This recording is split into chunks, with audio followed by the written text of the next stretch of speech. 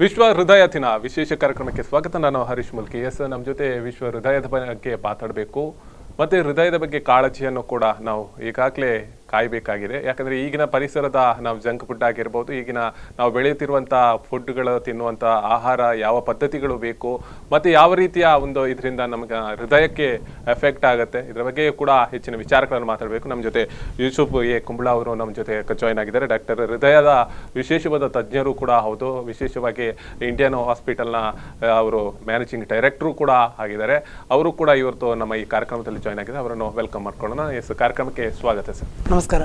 S ಈಗಾಗಲೇ ನೀವು ಗಮನಿಸಬಹುದು ಇವತ್ತು ವಿಶ್ವ ಹೃದಯ ದಿನ ಅಂತ ಹೇಳ್ಬೋದು ಇವತ್ತು ಹೃದಯದ ಒಂದು ಬಗ್ಗೆ ಆ ಒಂದು ಟ್ರೀಟ್ಮೆಂಟ್ ಆಗಿರ್ಬೋದು ಹೃದಯ ಆಘಾತ ಆಗುವಂಥದ್ರ ಬಗ್ಗೆ ಆಗಿರ್ಬೋದು ಆ ಹೃದಯವನ್ನು ಹೇಗೆ ಕೇರ್ ಮಾಡ್ಕೋಬಹುದು ಹೆಚ್ಚಾಗಿ ಹೇಗೆ ಅದನ್ನು ನಿಭಾಯಿಸಲಿಕ್ಕೆ ಸಾಧ್ಯತೆ ಏನು? ಸ್ಪಂದನ ಟಿ ವಿ ಪ್ರೇಕ್ಷಕರಿಗೆಲ್ಲರಿಗೂ ನಮ್ಮ ನಮಸ್ಕಾರ ನಾನು doctor Yusuf Kumble cardiologist interventional cardiologist and managing director Indiana hospital Mangalore ನಾವು ಮಂಗಳೂರಲ್ಲಿ ಕಾರ್ಡಿಯಾಲಜಿ ಸ್ಪೆಷಲಿಸ್ಟ್ ಅಲ್ಲಿ ಸರ್ವಿಸ್ ಮಾಡಲಿಕ್ಕೆ ಶುರು ಮಾಡಿ ಸುಮಾರು ಹದಿನೈದು ವರ್ಷ ಆಯಿತು.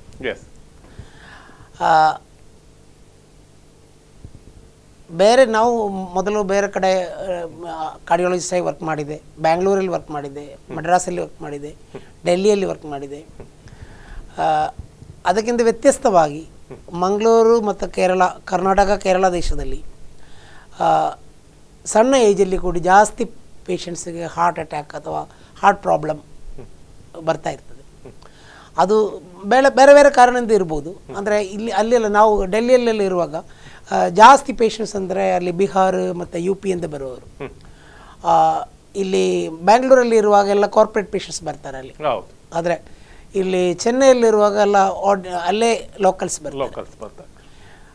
ಇಲ್ಲಿ ಮಂಗಳೂರಲ್ಲಿ sixty to seventy percent of the my patients are N R is ಅವರು ಫಾರಿನಲ್ಲಿ ಅವ್ರದ್ದು ಲೈಫ್ ಸ್ಟೈಲ್ ಬೇರೆ ಎಲ್ಲ ಎ ಸಿಯಲ್ಲಿ ಕೂತ್ಕೊಂಡು ಅಲ್ಲಿ ಅಲ್ಲಿಂದ ಇಲ್ಲಿ ಕಾರ್ಗೆ ಹೋಗಿ ಮತ್ತು ಫಾಸ್ಟ್ ಫುಡ್ ಜಂಕ್ ಫುಡ್ ಆ ಥರ ಪೇಷಂಟ್ಸ್ ಲೈಫ್ ಸ್ಟೈಲ್ ಜಾಸ್ತಿ ಇರೋದು. ಮತ್ತು ಲಾಸ್ಟ್ ಒಂದು ಟ್ವೆಂಟಿ ತರ್ಟಿ ಇಯರ್ಸಲ್ಲಿ ಎಲ್ಲರಿಗೆ ಸ್ವಲ್ಪ ಫೈನಾನ್ಷಿಯಲಿ ಸ್ವಲ್ಪ ಬೆಟರ್ ಆಗೋಸ್ಕರ ಅವ್ರದ್ದು ಲೈಫ್ ಸ್ಟೈಲ್ ಎಲ್ಲ ಚೇಂಜ್ ಆಗಿದೆ. ಮೊದಲು ನ್ಯಾಚುರಲ್ ಫುಡ್ ನ್ಯಾಚುರಲ್ ಜಾಸ್ತಿ ಇರುವಾಗ. ಈಗೆಲ್ಲ ಹೋಟೆಲ್ ಫುಡ್ ಫಾಸ್ಟ್ ಫುಡ್ ಆ ಥರ ಇದು ಮಾಡಿದೆ ಟೆನ್ಷನ್ ಕೂಡ ಜಾಸ್ತಿ ಇರ್ತದೆ. ಮೋರ್ ಮೋರ್ ಮಣಿ ಇದ್ದರೆ ಮೋರ್ ದೇರ್ ಈ there greediness also will be more ಆ ಥರ. ಆವಾಗ ನಾವು ಹೀಗೆ ಇಲ್ಲಿ ಇಲ್ಲಿ ಬಂದಮೇಲೆ ಮಂಗಳೂರು ಬಂದಮೇಲೆ ಒಂದು ನಾವು ನೋಡೋ ಹಾರ್ಟ್ ಪೇಷಂಟ್ಸು ಅವರ ಟ್ರೀಟ್ಮೆಂಟ್ ಸ್ಟೈಲ್ ಅವರದ್ದು ಅವರ ಕಾರಣ ಹಾರ್ಟ್ ಲೈಫ್ ಇದಕ್ಕೆ ಪ್ರಾಬ್ಲಮ್ ಕಾರಣ ಎಲ್ಲ ಬೇರೆ ಕಡೆಯಿಂದ ವ್ಯಸ್ತ ವ್ಯತ್ಯಸ್ತ ಇರ್ತದೆ ಹ್ಮ್. ಅದಕ್ಕೆ ನಾವೊಂದು ನಾ ನಮ್ಮದೇ ಒಂದು ಸ್ಟಡಿ ಮಾಡಿ ನೋಡಿದೆ ನಮ್ಮದೇ ಒಂದು ಸ್ಟಡಿ ಮಾಡಿ ನೋಡುವಾಗ ನಮ್ಮದು ಒಂದು ಏಜ್ ಅವರದ್ದು ಏಜ್ ತರ್ಟಿ ಇಂದ ಶುರು ಆಗ್ತದೆ. ನಾವು ಯೂಶಲಿ ಫಿಫ್ಟಿ ಫಿಫ್ಟಿ ಫೈವ್ ಅಂತ ಹೇಳ್ತಾರೆ ಈ ಹಾರ್ಟ್ ಪೇಷಂಟ್ಸ್ ಇಲ್ಲಿ ನಿಜವಾಗ್ಲು. ಬಟ್ ಇಲ್ಲಿ ಬರುವಾಗ most of them are above thirty five above thirty five ಅಂದರೆ ನಾವು ಸಸ್ಪೆಕ್ಟ್ ಮಾಡಲೇಬೇಕು ಕಾರ್ಡಿಯಕ್ ಪ್ರಾಬ್ಲಮ್ ಏನಾದರೂ ಚೆಸ್ಟ್ ಪೇನ್ ಆಗಿ ಬಂದರೆ ಬೇರೆ ಏನಾದರೂ ಒಂದು. ಎರಡನೇದು ಫಾಸ್ಟ್ ಟ್ರೀಟ್ಮೆಂಟ್ ಸಿಗ್ತದೆ ಇಲ್ಲಿ. ಅದೊಂದು ನಾನು ನೋಡಿದೆ. ಹಾರ್ಟ್ ಅಟ್ಯಾಕ್ ಬಂದವರು ಯೂಶಲಿ ನಾವು ನಾವು ಏನು ಹೇಳ್ತಾರೆ ಹಾರ್ಟ್ ಅಟ್ಯಾಕ್ ಬಂದರೆ fifty percent will die within one hour another fifty percent will die within six hours remaining fifty ಅಂದ್ರೆ ಫಿಫ್ಟಿ ಪರ್ಸೆಂಟ್ ಅಷ್ಟು ಟೈಮಿಂಗ್ ಅಷ್ಟು ಟೈಮ್ ಅಂದರೆ ಟ್ವೆಂಟಿ ಫೈವ್ ಪರ್ಸೆಂಟ್ ಮಾತ್ರ ಹಾಸ್ಪಿಟ್ಲಲ್ಲಿ ಬರೋದು. Seventy five percent within three four hours six hours ಒಳಗಡೆ death ಆಗಿ ಆಯಿತು ಇಲ್ಲಿ ಹಾಗೆ ಅಲ್ಲ ಇಲ್ಲಿ ಒಂದು ವ್ಯತ್ಯಾಸ ವ್ಯತ್ಯಾಸ ಏನಂದರೆ ವಿತಿನ್ ಟೂ ತ್ರೀ ಅವರ್ಸ್ ಅವರಿಗೆ ಕರೆಕ್ಟಾಗಿ ಡಾಕ್ಟರ್ ಹತ್ರ ಹೋಗಿ ಟ್ರೀಟ್ಮೆಂಟ್ ತಗೊಂಡು ಆಗ್ತದೆ. ಅದೊಂದು ಭಾಳ ಒಂದು ಇಂಪಾರ್ಟೆಂಟ್ ಆಗಿ ನೋಟ್ ಮಾಡಿದ್ದೆ ನಾನು. ಅದಕ್ಕೆ ಹಾರ್ಟಲ್ಲಿ ಅಷ್ಟು ಡ್ಯಾಮೇಜ್ ಇರುವುದಿಲ್ಲ ಪೇಷಂಟಿಗೆ ಹಾರ್ಟ್ ಅಟ್ಯಾಕ್ ಬಂದರು ಹಾರ್ಟ್ ಅಟ್ಯಾಕ್ ಬಂದು ಲೇಟ್ ಆದರೆ ಏನಾಗುತ್ತೆ ಗೊತ್ತಾ?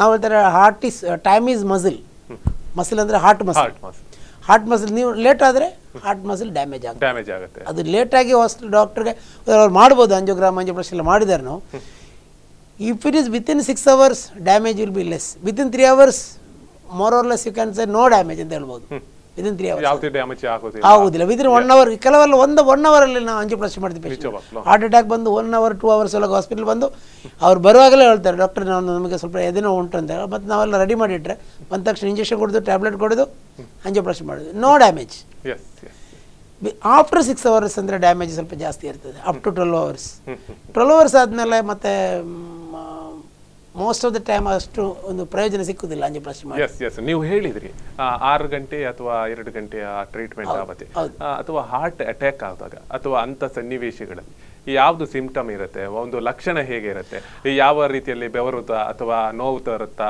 ಕೆಲವರಿಗೆ ತಲೆ ಸುತ್ತಾಗತ್ತೆ ಬೆನ್ನ ಮೇಲೆ ನೋವು ಬರ್ತದೆ ಅಂತ ಹೇಳ್ತಾರೆ. ಇದೆಲ್ಲ ನಿಜನಾ? ಹೀಗೆ ಆಗುತ್ತೆ ಹಾರ್ಟಿನ ವಿಚಾರದಲ್ಲಿ? ನೋಡಿ ಹಾರ್ಟಲ್ಲಿ ನಾವು ಮೇಯ್ನ್ ಆಗಿ ಬೇರೆ ಬೇರೆ ಕಾಯಿಲೆ ಉಂಟು ಹಾರ್ಟಲ್ಲಿ ಎಸ್ ಹಾರ್ಟದು ಮೇಯ್ನ್ ಆಗಿ ಅಡಲ್ಟ್ಗೆ ಬರೋದು ಮೇಯ್ನ್ ಆಗಿ ಹಾರ್ಟ್ ಬ್ಲಡ್ ವೆಸಲ್ ರಕ್ತನಾಳದಲ್ಲಿ ಬ್ಲಾಕ್ ಬರೋದು. ಬ್ಲಾಕ್ ಬರೋದು. ಇದು ಮೇನ್ ಅಡಲ್ಟ್ ಅಲ್ಲಿ. ಮಕ್ಕಳಲ್ಲಿ ಅದು ಬರೋದಿಲ್ಲ. ಅದು ಬೇರೆ ಟೈಪ್ ಕಾಯಿಲೆ. ಅದು ನನಗೆ ಡಿಸ್ಕಸ್ ಮಾಡೋದಿಲ್ಲ ಎರಡನೇದು ವಾಲ್ವಲ್ಲಿ ಪ್ರಾಬ್ಲಮ್ ಬರ್ಬೋದು. ಮೂರನೇದು ಹಾರ್ಟ್ದು ಸ್ಪೀಡಲ್ಲಿ ಪ್ರಾಬ್ಲಮ್ ಬರ್ಬೋದು. ನಾಲ್ಕನೇದು ಹಾರ್ಟ್ ಮಸಲ್ ವೀಕ್ ಆಗ್ತದೆ. ಐದನೇದು ಈ ಮಕ್ಕಳದು ಪ್ರಾಬ್ಲಮ್ ಬರ್ತದಲ್ಲ. ಅದು ಕೂಡಿ ಅದು ಅವ್ರ ಮಕ್ಕಳಲ್ಲಿ ಬರೋ ಅದು ಅಡಲ್ಟ್ಗೆ ಬರ್ಬೋದು. ಅಂತ ಬರ್ಬೋದು ಅಂದ್ರೆ ಕೆಲವರಿಗೆ ಗೊತ್ತಾಗೋದಿಲ್ಲ ಮಕ್ಕಳಲ್ಲಿ. ಮತ್ತು ಅದು ಅವ್ರ ದೊಡ್ಡ ಹೋಗೋ ಅರ್ಥ ಆಗ್ತದೆ. ಈ ಥರ ಪ್ರಾಬ್ಲಮ್ ಜನ್ಮದಲ್ಲೇ ಆ ಥರ ಪ್ರಾಬ್ಲಮ್ ಇತ್ತು ಇದರಲ್ಲಿ ನೈಂಟಿ ಏಯ್ಟಿ ಪರ್ಸೆಂಟ್ ನಾವು ಹೇಳೋದು ಈ ಬ್ಲಾಕ್ ಬರೋದು ಮಾತ್ರ ನಾವು ಮಾತಾಡೋದು. ಹಾರ್ಟ್ ಅಟ್ಯಾಕ್ ಬರೋದು ಈ ಬ್ಲಾಕಿಂದ ಮಾತ್ರ. ಮಸಲ್ ವೀಕ್ ಆದರೆ ಹಾರ್ಟ್ ಅಟ್ಯಾಕ್ ಬರೋದಿಲ್ಲ. ವಾಲ್ವಲ್ಲಿ ಪ್ರಾಬ್ಲಮ್ ಇದ್ರೆ ಹಾರ್ಟ್ ಅಟ್ಯಾಕ್ ಬರೋದಿಲ್ಲ. ಬೇರೆ ಹಾರ್ಟಲ್ಲಿ ಬೇರೆ ಬೇರೆ ಕಾಯಿಲೆ ಉಂಟು ಆಟ ಸ್ಪೀಡ್ ಜಾಸ್ತಿ ಇರೋದು ಹಾರ್ಟ್ ಸ್ಪೀಡ್ ಕಮ್ಮಿ ಆಗೋದು ಅದೆಲ್ಲ ಅದೆಲ್ಲ ಬೇರೆ ಬೇರೆ ಕಾಯಿಲೆ. ಪೇಸ್ ಮೇಕರ್ ಎಲ್ಲ ಬೇಕಾಗ್ತದೆ ಅದರಲ್ಲಿ ಹಾರ್ಟ್ ಅಟ್ಯಾಕ್ ಬರೋದಿಲ್ಲ. ಈ ಹಾರ್ಟ್ ಅಟ್ಯಾಕ್ ಬ್ಲಾಕ್ ಬಂದರೆ ಹೇಗೆ ಗೊತ್ತಾಗುತ್ತೆ ಅಂದರೆ ಬ್ಲಾಕ್ ಬಂದರೆ ಸ್ವಲ್ಪ ನಡೆಯುವಾಗ ಸ್ವಲ್ಪ ಆಯಾಸ ಆಯಾಸ ಆಗ್ತದೆ ಪೇಷಂಟ್ ಎದೆನೋವು ಎದೆ ನೋವು ಸ್ವಲ್ಪ ವಾಕ್ ಮಾಡಿದಾಗ ಆಯಾಸ ಆಗ್ತದೆ ಎದೆನೋವು ಬರ್ತದೆ. ಎದೆನೋವು ಅಂದರೆ ಎದೆಯಲ್ಲೇ ಬರ್ಬೋದು ಕೆಲವರಿಗೆ ಲೆಫ್ಟ್ ಹ್ಯಾಂಡಲ್ಲಿ ಬರ್ಬೋದು. ಹಾ ಹ್ಯಾಂಡಲ್ ಬರುವಂತದ್ದು ಲೆಫ್ಟ್ ಹ್ಯಾಂಡಲ್ಲಿ ಬರ್ಬೋದು ಅಪೂರ್ವವಾಗಿ ರೈಟ್ ಹ್ಯಾಂಡಲ್ಲಿ ಕೂಡ ಬರ್ಬೋದು ಕಾಮನ್ ಆಗಿ ಲೆಫ್ಟ್ ಹ್ಯಾಂಡಲ್ಲಿ ಬರ್ತದೆ. ಮತ್ತೆ ಕೆಲವರಿಗೆ ಇಲ್ಲಿ ಬರ್ತದೆ ನಾವು ಕುತ್ತಿಗೆಯ ಇಲ್ಲಿ ಇಲ್ಲಿ ಹಿಡಿದಂಗೆ ಆಗ್ತದೆ. ಸ್ವಲ್ಪ ರೆಸ್ಟ್ ತಗೊಳ್ಳುವಾಗ ಕಮ್ಮಿ ಆಗ್ತದೆ. ಕೆಲವರಿಗೆ ಇಲ್ಲಿ ಜೋ ಅಲ್ಲಿ ಕೂಡ ಬರ್ಬೋದು ರೇರ್ ಆಗಿ ಜೋ ಅಲ್ಲಿ ಕೂಡ ಬರ್ಬೋದು ಲೋವರ್ ಜೋ ಅಪ್ಪರ್ ಜೋ ಅಲ್ಲಿ ಬರೋದಿಲ್ಲ ಲೋವರ್ ಜೋ ಅಲ್ಲಿ ಬರ್ಬೋದು ಕೆಲವರಿಗೆ ವಾಮಿಟಿಂಗ್ ಆಗ್ಬೋದು. ವಾಮಿಟಿಂಗ್ ಆಗ್ತದೆ. ಕೆಲವರಿಗೆ ಬೇವರು ಬರ್ತದೆ. ತಲೆ ಸುತ್ತು ಬಂದಂಗೆ ಆಗ್ತದೆ. ಅಂದರೆ ಕಾಮನೆಸ್ಟ್ ಸಿಂಟಮ್ ಅಂದರೆ ಎದೆ ನೋವು.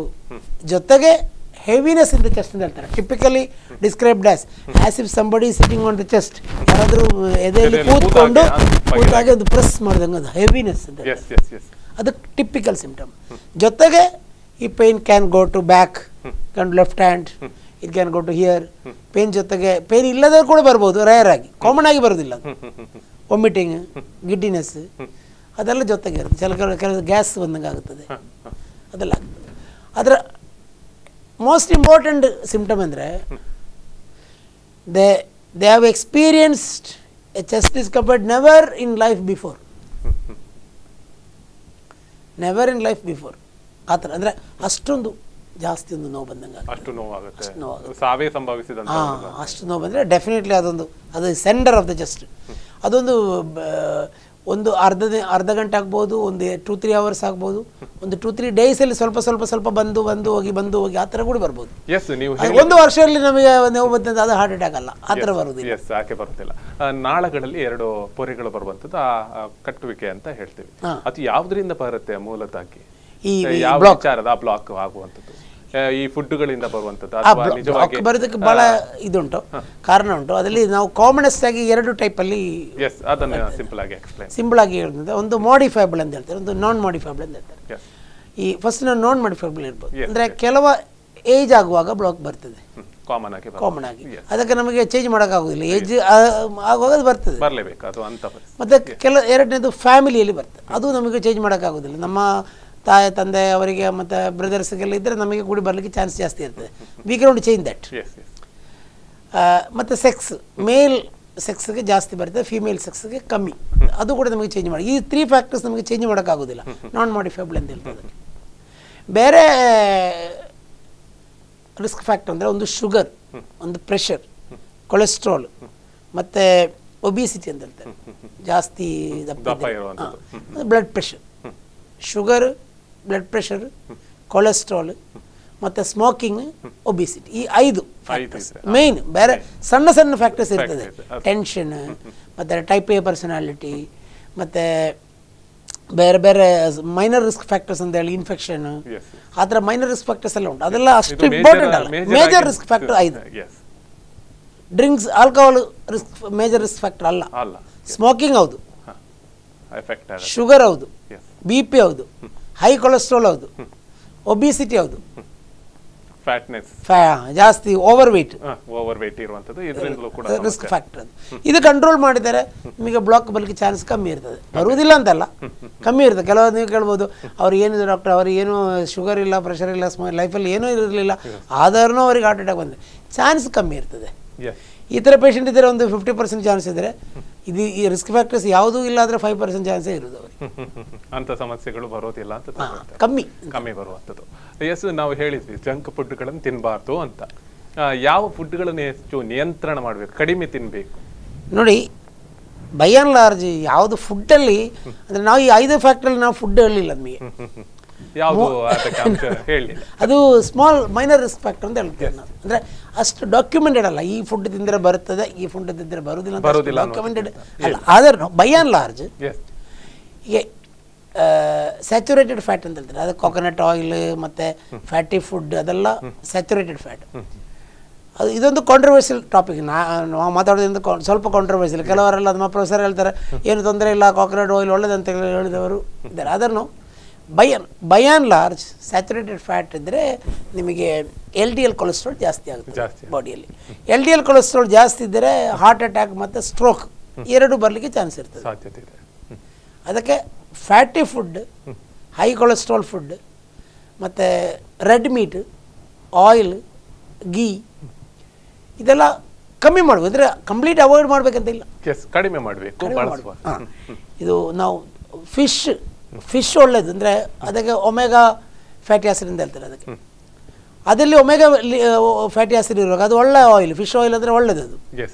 ಅದು ಹಾರ್ಟಿಗೆ ಕೂಡ ಒಳ್ಳೆಯದಾಗ್ತದೆ ಆದರೆ ಫಿಶ್ ವೆಜಿಟೇಬಲ್ಸ್ ಮತ್ತು ಫ್ರೂಟ್ಸ್ ಅದೆಲ್ಲ good lifestyle healthy food good lifestyle good lifestyle ಮತ್ತು ಇದೆಲ್ಲ ಫ್ರೈಡ್ ಐಟಮ್ಸ್ ಮತ್ತು ಮಾಂಸ ಮತ್ತು ಆಯಿಲ್ ಗೀ ಫಾಸ್ಟ್ ಫುಡ್ ಅದೆಲ್ಲ ಬಹಳ ಭಾಳ ಇಂಗ್ರೀಡಿಯೆಂಟ್ಸ್ ಇರ್ತದೆ ಮತ್ತು ಪ್ರಿಸರ್ವೇಟಿವ್ ಇರ್ತದೆ. ಅದೆಲ್ಲ ಅಷ್ಟು ಒಳ್ಳೆದಲ್ಲ ಅಂತ. ಒಳ್ಳೇದಲ್ಲ ತಿನ್ನೋದಕ್ಕೆ ಸೂಕ್ತ ಅಲ್ಲ ಅನ್ನುವಂಥದ್ದು ತಾವು ಹೇಳ್ತಾ ಇರೋದು ಈಗ ಹೃದಯದ ಬಗ್ಗೆ ನಾವು ಒಂದು ರೀತಿಯ ಲೆಕ್ಕಾಚಾರ ಮಾಡಿದ್ರೆ ಅದರ ಕಾಯಿಲೆಯನ್ನು ನಿಗದಿತ ಇಂಥದ್ದೇ ಕಾಯಿಲೆ, ಇದಕ್ಕೆ ಹೃದಯಕ್ಕೆ ಸಂಬಂಧಿಸಿದೆ ಅಂತ ಹೇಳಲಿಕ್ಕೆ ಏನು ಆಧಾರ ಸಿಂಪ್ಟಮ್ ಇದೆ ಅನ್ನುವಂಥದ್ದು. ಸಿಂಪಲ್ ಆಗಿ ಇದು ಹೃದಯದೇ ಸಮಸ್ಯೆ. ಇದಕ್ಕೆ ನಾವು ಈಗ ಅವರಿಗೆ ಬಾಯಿಗೆ ಒಂದು ಗಾಳಿ ಹಾಕುವಂಥದ್ದು ಪಂಪ್ ಮಾಡುವಂಥದ್ದು, ಇದನ್ನು ಮಾಡಿದ್ರೆ ಹಾರ್ಟ್ ಅಟ್ಯಾಕನ್ನು ನಿಲ್ಲಿಸ್ಬೋದು ಅನ್ನುವಂಥ ಆ ನಿರ್ಧಾರ ಮಾಡಬೇಕಾದ್ರೆ ಹೇಗೆ ಒಂದು ಈಸಿಯಾಗಿ ಮೆಥಡ್ ಇದೆ ಅನ್ನೋದು ನೀವು ಹೇಳುದಂದ್ರೆ ಸಡನ್ ಆಗಿ ಸಡನ್ ಈಗ ಆಯ್ತು. ಅದು ಹಾರ್ಟ್ ಅಟ್ಯಾಕ್ ಅನ್ನುವಂಥದ್ದು. ಅಥವಾ ಈಗಾಗಲೇ ನೀವು ನೋಡಿರ್ಬೋದು ವಾಟ್ಸಪ್ಗಳಲ್ಲಿ ಇನ್ನೆಷ್ಟುಗಳಲ್ಲಿ ಚೆಸ್ಟ್ ಹಾಗೆ ಇದು ಮಾಡಿ ಮತ್ತೆ ಬಾಯಿಗೆ ಪಂಪ್ ನೋಡಿ ಅದಕ್ಕೆ ನಾನು ಹೇಳ್ತೇನೆ. ಅದಕ್ಕೆ ನಾವು ನಮ್ಮದು ಸಡನ್ ಕಾರ್ಡಿಯಾಕ್ ಅರೆಸ್ಟ್ ಅಂತ ಹೇಳ್ತಾರೆ ನಾವು. ಹಾರ್ಟ್ ಸಡನ್ ಆಗಿ ನಿಲ್ಲುದು. ಸ್ತಬ್ಧವಾಗಿ ನಿಲ್ಲುವುದು. ಹಾಗಾದ್ರೆ ಪೇಷಂಟ್ ಡೈಡ್ ಅಂತ ಆಯ್ತು. ಪೇಷಂಟ್ ಇಮಿಡಿಯೇಟ್ಲಿ ಡೆತ್ ಆಯ್ತು ಅದು within three minutes to five minutes ಅದು ರಿವೈವ್ ಮಾಡ್ಲಿಕ್ಕೆ ಆದರೆ ನಾವು ಏನಾದರೂ ಮಾಡಿ ಹಾರ್ಟ್ ವಾಪಸ್ ಪಂಪಿಂಗ್ ಶುರು ಆದರೆ ಶುರು ಆದರೆ ಜೀವ ಬದುಕಲಿಕ್ಕೆ ಆಗ್ತದೆ. ಆಗ್ತದೆ. ಅದು ಫಸ್ಟ್ ನಮಗೆ ಗೊತ್ತಾಗಬೇಕು ಹಾರ್ಟ್ ಸ್ಟಾಪ್ ಆಯ್ತಾ ಇಲ್ವಾ ಅಂತ. ಹಾರ್ಟ್ ಅಟ್ಯಾಕು ಹಾರ್ಟ್ ಈಗ ನಾನು ಹೇಳಿದಲ್ಲ ಸಡನ್ ಕಾರ್ಡಿಯಕ್ ಅದು ಒಂದಲ್ಲ. ಡಿಫ್ರೆಂಟ್ ಡಿಫ್ರೆಂಟ್ ಹಾರ್ಟ್ ಅಟ್ಯಾಕ್ ಅಂದರೆ ಪೇನ್ ಬಂದು ಪೇಯ್ನ್ ಪೇನ್ ನೋವಾಗುತ್ತದೆ ಹಾರ್ಟ್ ಡ್ಯಾಮೇಜ್ ಆಗ್ಲಿಕ್ಕೆ ಸ್ಕ್ರೈಯಿಂಗ್ ಏನಾದರೂ ಮಾಡಿ ಅಂತ ಪೇಷಂಟ್. ಎಮರ್ಜೆನ್ಸಿಯಾಗಿ ಇಂಜೆಕ್ಷನ್ ಕೊಡಿ ಏನಾದರೂ ಆಡಿದ್ರೆ ಪೇಷಂಟ್ ಸಡನ್ ಕಡೆ ಕಾರ್ಡಿಯಕ್ ಪೇಷಂಟ್ ಹೇಳಲಿಕ್ಕೆ ಇಲ್ಲ. ಪೇಷಂಟ್ ಸಡನ್ ಆಗಿ ಕೊಲಾಪ್ಸ್ ಆಗೋದು. ಬ್ಲಡ್ ವಾಮಿಟ್ ಅಲ್ಲ, ಬ್ಲಡ್ vomit ಆಗುದಿಲ್ಲ, ಬ್ಲಡ್. ಬಹಳಷ್ಟು ಸನ್ನಿವೇಶಗಳಲ್ಲಿ ಒಂದು ಸಡನ್. ಚೆಸ್ಟ್ ಪೇನ್ ಆಗಿ ಅದಕ್ಕೊಂದು ಕಾಂಪ್ಲಿಕೇಶನ್ ಈಗ ಹಾರ್ಟ್ ಅಟ್ಯಾಕ್ ಆಗಿ ಅವರದ್ದು ಹಾರ್ಟ್ ಅಟ್ಯಾಕ್ದು ಒಂದು ಕಾಂಪ್ಲಿಕೇಶನ್ ಅಂದ್ರೆ ಡೆತ್ ಡೆತ್ ಅದು ಹೇಗೆ ಗೊತ್ತಾಗುತ್ತದೆ? ಸಡನ್ ಆಗಿ ಕೊಲಾಪ್ಸ್ ಆಗೋದು ಪೇಷಂಟ್ ಪೇಷಂಟ್ ಸಡನ್ ಆಗಿ ಅನ್ಕಾನ್ಶಿಯಸ್ ಆಗೋದು.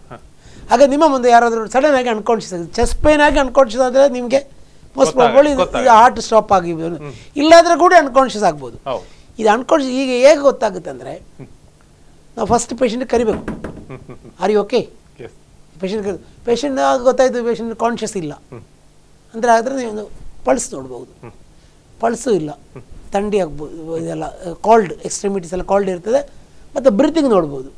ಹೀಗೆ pulse called extremities breathing conscious level.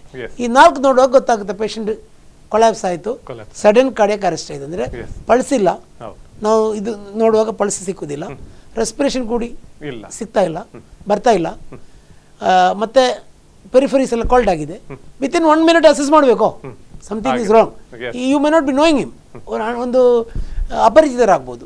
ಅದು ಸಡನ್ ಆಗಿ ನಿಮ್ಮ ಮುಂದೆ ಅವರು ಕೊಲಾಪ್ಸ್ ಆಗಿ ಬಿದ್ದಿದೆ. ನಿಮಗೇನಂತ ಗೊತ್ತಿಲ್ಲ. ಅವ್ರಿಗೆ ಅಯ್ಯೋ hello friend how are you is not responding you are all right is not responding pulse ನೋಡುವಾಗ ಪಲ್ಸ್ ಇಲ್ಲ. ರೆಸ್ಪಿರೇಷನ್ ಕೂಡ ನಿಲ್ಲದು ಕಾಣ್ತದೆ. ಇಮಿಡಿಯೇಟಾಗಿ ನೀವು ರಿವೈವ್ ಮಾಡಬೇಕು. ರಿವೈವ್ ಅಂದರೆ ಕಾರ್ಡಿಯಕ್ ಮೆಸೇಜ್ ಅಂತ ಹೇಳ್ತಾರೆ. ಅದಕ್ಕೆ ಒಂದು ಕ್ಲಾಸೇ ನಾವು actually we are tomorrow we are having a class for the journalist for. ಅದಕ್ಕೊಂದು ಬಿ ಎಲ್ ಎಸ್ ಅಂತಾರೆ ಬೇಸಿಕ್ ಲೈಫ್ ಸಪೋರ್ಟ್ ಹೇಗೆ ಕೊಡೋದು ಅಂತ. ಅದು ನಾವು ಅದು ಕಲಿಬೇಕು. ಅದು ನಾವು ಈಗ ಹೇಳಿದ್ರೆ ಸರಿ ಆಗೋದಿಲ್ಲ ಕರೆಕ್ಟ್ ಆಗೋದಿಲ್ಲ. ಯಾಕಂದ್ರೆ ಅದಕ್ಕೊಂದು ಹಾಫ್ ಆನ್ ಅವರ್ ಟೈಮ್ ಬೇಕು. ಬಿ ಎಲ್ ಎಸ್ ಎಲ್ಲವರು ಎಲ್ಲಿಲ್ಲಾದ್ರೂ ಕೂಡ ನೀವು ಬೇರೆಯವರಿಗೆ ಹೆಲ್ಪ್ ಆಗೋದಿಲ್ಲ ಆದ್ರೂ ಕೂಡ ಮನೆಯಲ್ಲಿ ಕೂಡ ಹೆಲ್ಪ್ ಆಗ್ತದೆ ಒಂದು ಎಮರ್ಜೆನ್ಸಿ ಆಗಿ. ಆ ಬಿ ಎಲ್ ಎಸ್ ಎಲ್ಲಾದ್ರೂ ಗೊತ್ತಿದ್ರೆ ಬಹಳಷ್ಟು ಹೃದಯ ಹೃದಯ ಎಮರ್ಜೆನ್ಸಿ ಕಂಡೀಷನಲ್ಲಿ ಒಂದು ಫಿಫ್ಟಿ ಪರ್ಸೆಂಟ್ ಜನರಿಗೆ ನಮಗೆ ಬದುಕಬಹುದು ಅಂತೆ. ಎಸ್ ಎಸ್ ನಿಮ್ ಜೊತೆ ಮಾತು ಮುಂದುವರಿಸ್ತೇನೆ. ಒಂದು ಪುಟ್ಟ ವಿರಾಮ ವಿರಾಮದ ಬಳಿಕ ಕಾರ್ಯಕ್ರಮ ಮುಂದುವರಿಯುತ್ತೆ.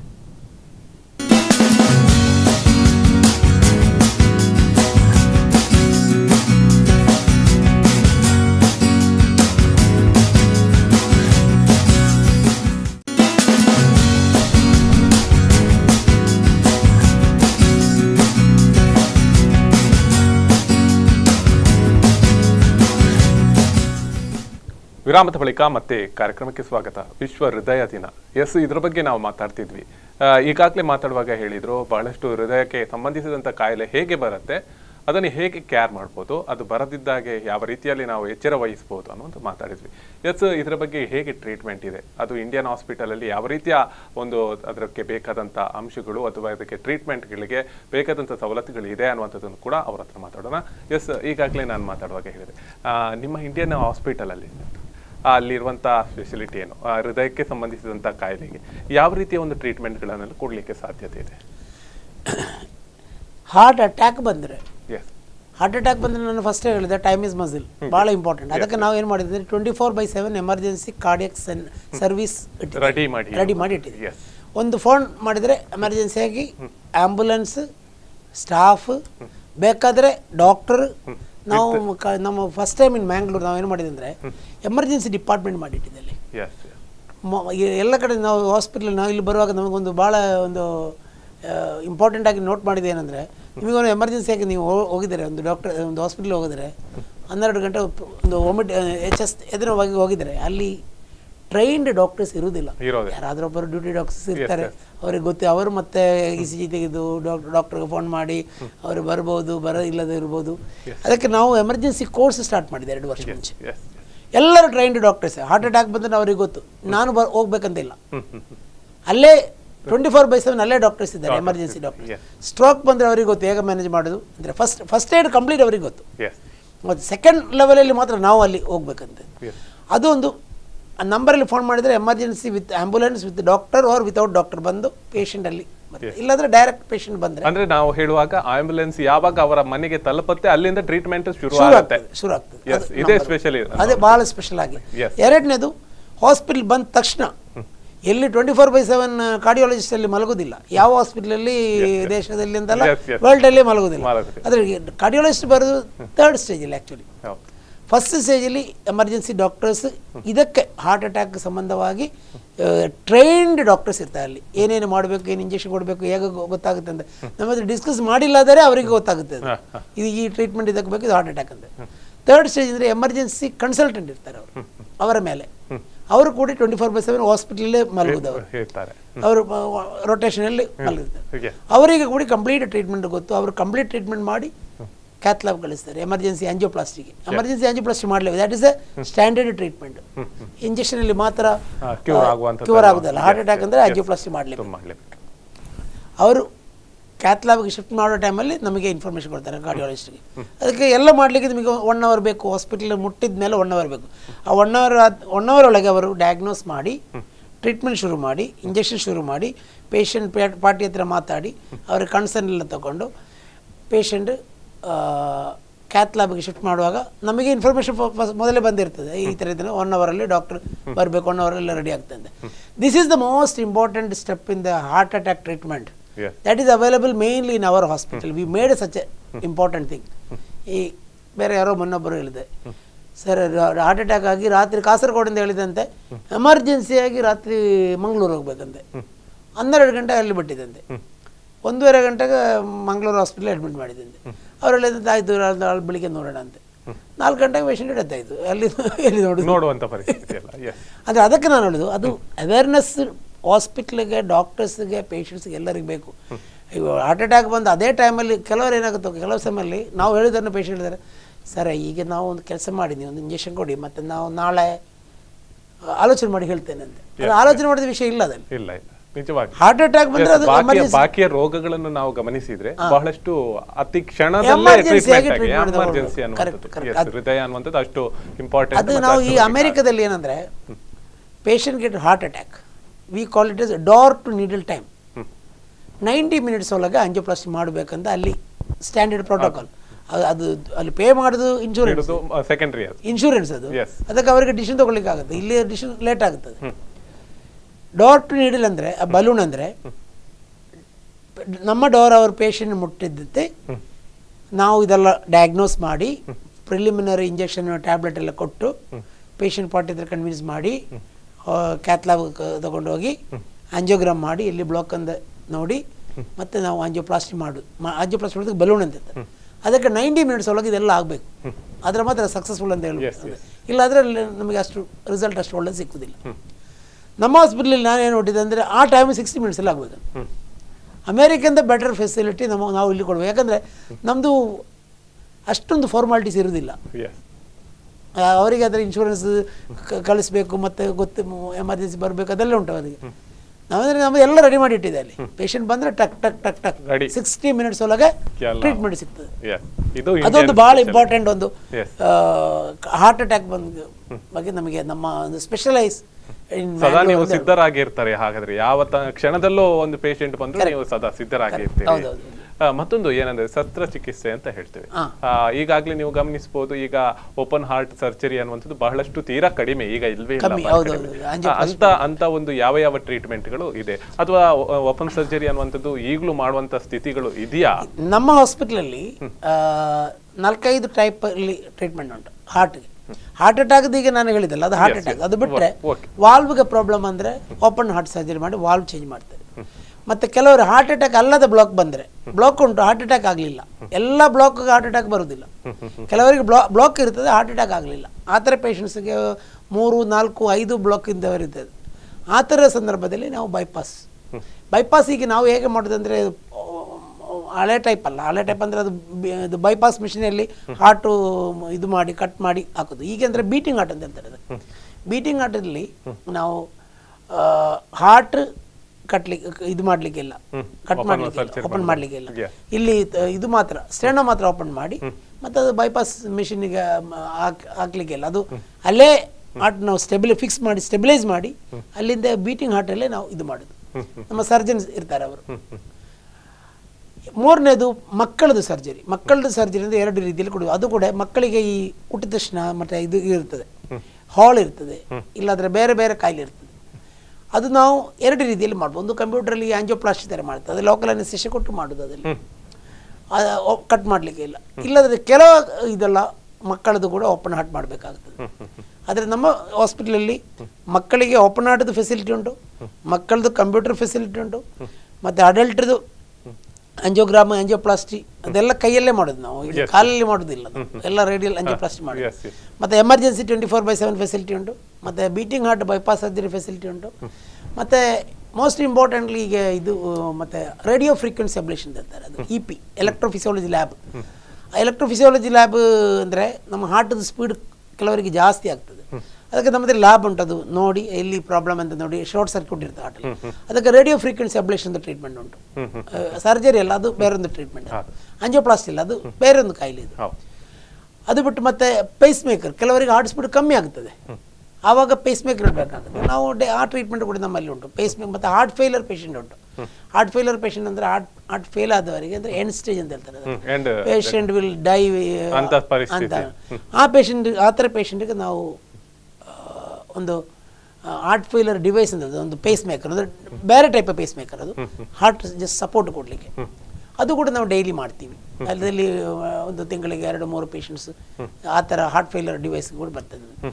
ಈಗ ಲೇಟೆಸ್ಟ್ ಆಗಿ ನಾವು ಲಾಸ್ಟ್ ಮಂತ್ ನಾವು ಇದಕ್ಕೆ ಕೂಡ ಅಪ್ಲೈ ಮಾಡಿದೆ. ಟ್ರಾನ್ಸ್ಪ್ಲಾಂಟ್ ಕೂಡ ಹಾರ್ಟ್ ಟ್ರಾನ್ಸ್ಪ್ಲಾಂಟ್ ಕೂಡ ಅಪ್ಲೈ ಮಾಡಿದೆ. ಮೊನ್ನೆ ಬಂದವರು ಇನ್ಸ್ಪೆಕ್ಷನ್ ಎಲ್ಲ ಮಾಡಿ ಹೋಗಿ ಆಯಿತು.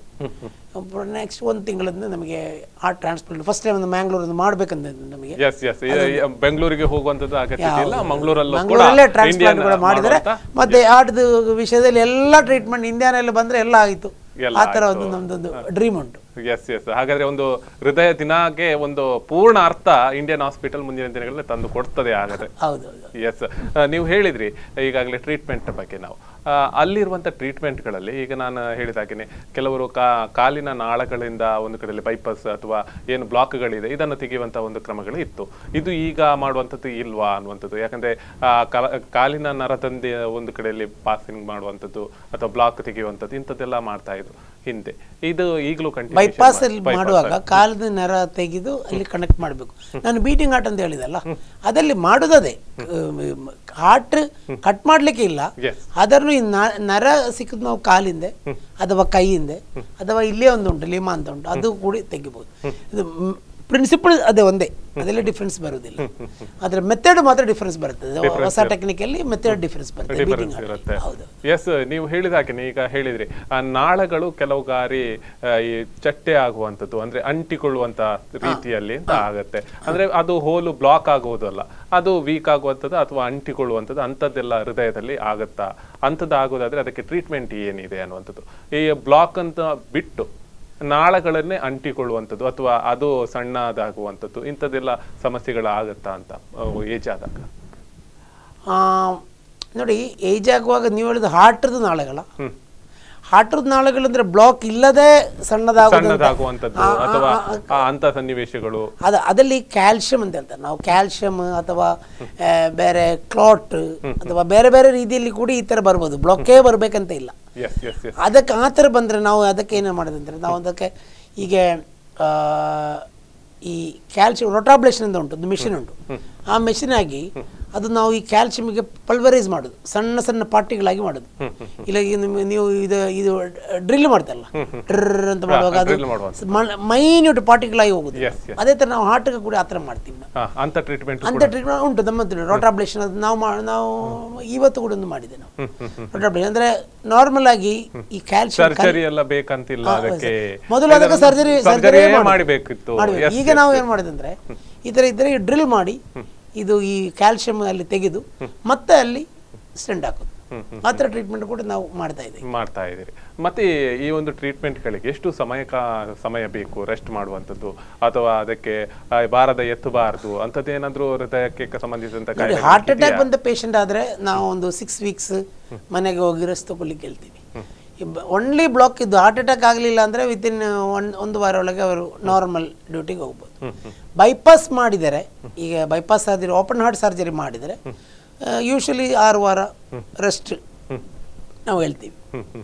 ಬೇರೆ ಕಂಪ್ಯೂಟ್ರಲ್ಲಿ ಈಗ ವಾಲ್ವ್ ಆಗಲಿ ಅಥವಾ ಹೋಲ್ ಆಗಲಿ ಅಥವಾ ಆಂಜಿಯೋಪ್ಲಾಸ್ಟಿ ಆಗಲಿ ಇದಕ್ಕೆ ಇದೆಲ್ಲಕ್ಕೆ ಒಂದು ಮ್ಯಾಕ್ಸಿಮಮ್ ಅಂದರೆ ಒಂದು ಮೂರು ನಾಲ್ಕು ದಿನ ಒಳಗೆ ಬ್ಯಾಕ್ ಟು ವರ್ಕ್.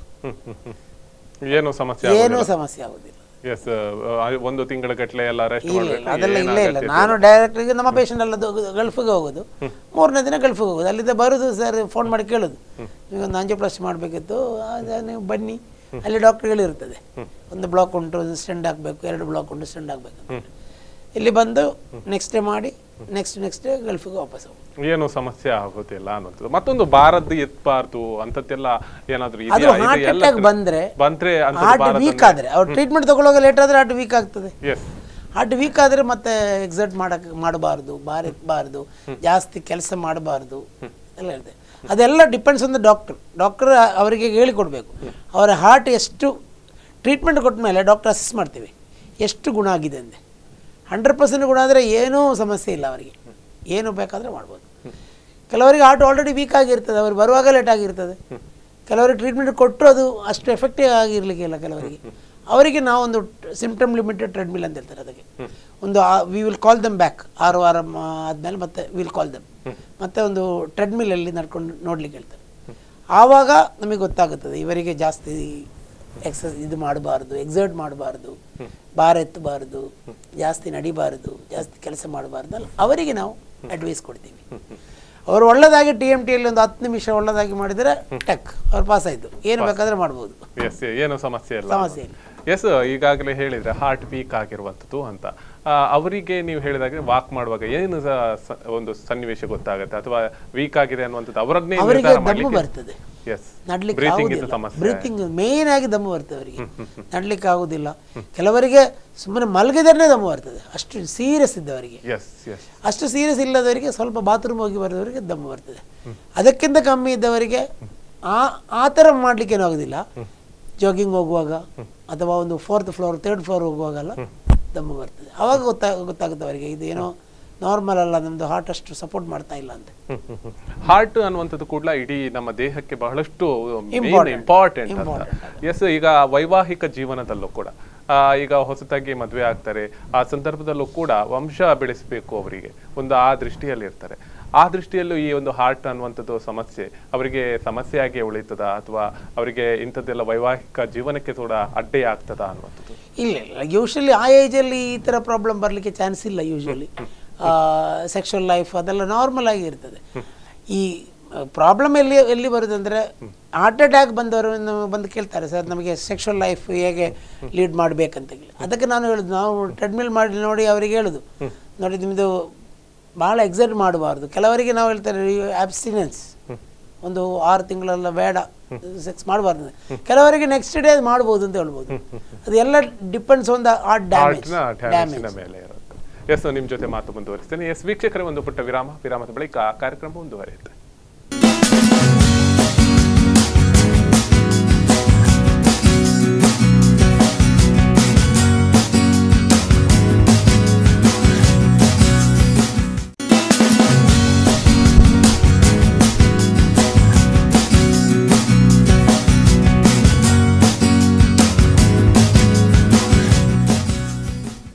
ವಿರಾಮದ ಬಳಿಕ ಮತ್ತೆ ಹೃದಯ ದಿನಾಚರಣೆಗೆ. ನಾವು ಇವತ್ತು ಈ ಒಂದು ಹೃದಯ ದಿನಾಚರಣೆ ದಿವಸ ಒಂದು ಹಾರ್ಟಿನ ಬಗ್ಗೆ ಹೆಚ್ಚಿನ ಕಾಳಜಿಯನ್ನು ವಹಿಸಬೇಕಾಗಿದೆ. ಇವತ್ತು ದಿನಕ್ಕೆ ಈ ದಿನಕ್ಕೆ ಮಾತ್ರ ಸೀಮಿತ ಆಗಬಾರ್ದು. ಪ್ರತಿಯೊಬ್ಬರ ದಿನಚರಿಯಲ್ಲೂ ಕೂಡ ತನ್ನ ಜೀವನದಲ್ಲಿ ತನ್ನ ಹೃದಯವನ್ನು ಕಾಪಾಡುವಂಥ ಕೆಲಸವನ್ನು ಮಾಡಬೇಕು. ಎಸ್, ಇದು ಕೆಲಸವನ್ನು ಮಾಡಬೇಕು, ಎಸ್ ಕಾಪಾಡಬೇಕು. ನಾವು ಯಾವ ರೀತಿಯ ಟ್ರೀಟ್ಮೆಂಟನ್ನು ತಗೊಳ್ಬೇಕು ಹಾಗೆಯೇ ಯಾವ ಫುಡ್ಗಳನ್ನು ತಗೋಬೇಕು, ಎಲ್ಲವನ್ನು ನಾವು ಮಾತಾಡಿದ್ವಿ. ಇದಕ್ಕೆ ಆಗುವಂಥ ಟ್ರೀಟ್ಮೆಂಟ್ ಹೇಗೆ? ಬಡವರಿಗೆ ಯಾವ ರೀತಿಯಲ್ಲಿ ಈಗಾಗಲೇ ಇಂಡಿಯನ್ ಹಾಸ್ಪಿಟಲ್ ಅನ್ನುವಂಥದ್ದು ಬಹಳಷ್ಟು ದೊಡ್ಡ ಸಂಸ್ಥೆ. ಬಹಳಷ್ಟು ಉತ್ತಮವಾದಂಥ ಕೆಲಸಗಳನ್ನು ಮಾಡ್ತಾ ಇದೆ. ಆ ದೊಡ್ಡ ಸಂಸ್ಥೆಯಲ್ಲಿ ನಮಗೆ ಹೇಗೆ ಟ್ರೀಟ್ಮೆಂಟ್ ಮಾಡ್ಕೋಬಹುದು? ಇದು ಹೋಗ್ಲಿಕ್ಕೆ ಸಾಧ್ಯನಾ? ಅದ್ರ ಬಗ್ಗೆನೂ ಕೂಡ ವಿಚಾರಗಳನ್ನು ಮಾತಾಡೋಣ. ಎಸ್ ಮಾತು ಮುಂದುವರಿಸ್ತೇನೆ. ಈಗಾಗಲೇ ನಾವು ಹೇಳುವಾಗ ಟ್ರೀಟ್ಮೆಂಟ್ ಮಾತಾಡಿದ್ವಿ. ನಾವು ಯಾವ ಬರ್ತ, ರೀತಿಯಲ್ಲಿ ಬರ್ತದೆ ಅಂತ ಎಲ್ಲ ಮಾತಾಡಿದ್ವಿ. ಯಾವ ರೀತಿಯಲ್ಲಿ ಚಿಕಿತ್ಸೆ ಇದೆ ಅಂತ ಎಲ್ಲ ಮಾತಾಡಿದ್ವಿ. ಹೆಲ್ತ್ ಕಾರ್ಡ್ ಅನ್ನುವಂಥದ್ದು ಇಂಡಿಯನ್ ಹಾಸ್ಪಿಟಲಲ್ಲಿ ಯಾಕೆ ಇಂಪಾರ್ಟೆಂಟ್ ಮತ್ತು ಬಡವರಿಗೆ ಇದರಿಂದ ಏನು ಯೂಸ್ ಇದೆ? ಯಾವ ರೀತಿಯಲ್ಲಿ ಬಡವರಿಗೆ ಇಂಡಿಯನ್ ಹಾಸ್ಪಿಟಲಲ್ಲಿ ಒಂದು ಸ್ಥಾನಮಾನಗಳು ಇದೆ ಅನ್ನುವಂಥ, ಅವರಿಗೆ ಟ್ರೀಟ್ಮೆಂಟ್ ಹೇಗೆ ಕೊಡಲಿಕ್ಕೆ ಸಾಧ್ಯತೆ ಇದೆ? ನೋಡಿ ಇಂಡಿಯಾನ ಹಾಸ್ಪಿಟಲ್ ಅಂದರೆ ನಾವು ಇದು ಇದೊಂದು corporate hospital first first corporate hospital first corporate hospital in Mangalore. ಬಾಕಿ ಎಲ್ಲ ಕಡೆ ಅಂದರೆ ಅದು ಮೆಡಿಕಲ್ ಕಾಲೇಜ್ ಮತ್ತು ಹಾಸ್ಪಿಟಲ್ ನಮ್ದು ನಮ್ಮದು ಎಕ್ಸ್ಕ್ಲೂಸಿವ್ ಕಾರ್ಪೊರೇಟ್ ಹಾಸ್ಪಿಟಲ್ ಇಲ್ಲಿ ಸ್ಟೂಡೆಂಟ್ಸ್ ಇಲ್ಲ. ಟ್ರೀಟ್ಮೆಂಟ್ ಕೊಡೋರು ಎಲ್ಲ qualified doctor number one number two ನಮ್ಮದು ಹಾಸ್ಪಿಟಲ್ ಒಂದು ಸ್ಪೆಷಾಲಿಟಿ ಏನಂದರೆ ಬೇರೆ ಎಲ್ಲಿ ನೋಡಿದ್ದಾರೆ ನಾವು ನೀವು ಡಾಕ್ಟರ್ಸ್ ಬರ್ತಾರೆ ಹೋಗ್ತಾರೆ ಬರ್ತಾರೆ ಹೋಗ್ತಾರೆ. ಬೇರೆಯವರು ಈ ಸಾಯಂಕಾಲ ಬೇರೆ ಕಡೆ ಬೇರೆ ಕಡೆ ಎಲ್ಲ ಟ್ರೀಟ್ಮೆಂಟ್ ಟ್ರೀಟ್ಮೆಂಟ್ ಪ್ರಾಕ್ಟೀಸ್ ನಮ್ಮ ಹಾಸ್ಪಿಟ್ಲಲ್ಲಿ ನಮ್ಮ ಕನ್ಸಲ್ಟೆಂಟ್ ಯಾರು ಕೂಡ ನಮ್ಮ ಹಾಸ್ಪಿಟ್ಲ್ ಬಿಟ್ಟು ಹೋಗ್ಲಿಕ್ಕಿಲ್ಲ. ಅಲ್ಲೇ ಪ್ರಾಕ್ಟೀಸ್ ಮಾಡಬೇಕು ಅಲ್ಲೇ ಪೇಷಂಟ್ ಅದು ಯಾಕೆ ಆ ಥರ ಅಂದರೆ ಪೇಷಂಟ್ಸ್ ಕ್ವಾಲಿಟಿ ಆಫ್ ಟ್ರೀಟ್ಮೆಂಟ್ ಒಳ್ಳೆದು ಸಿಗ್ತದೆ.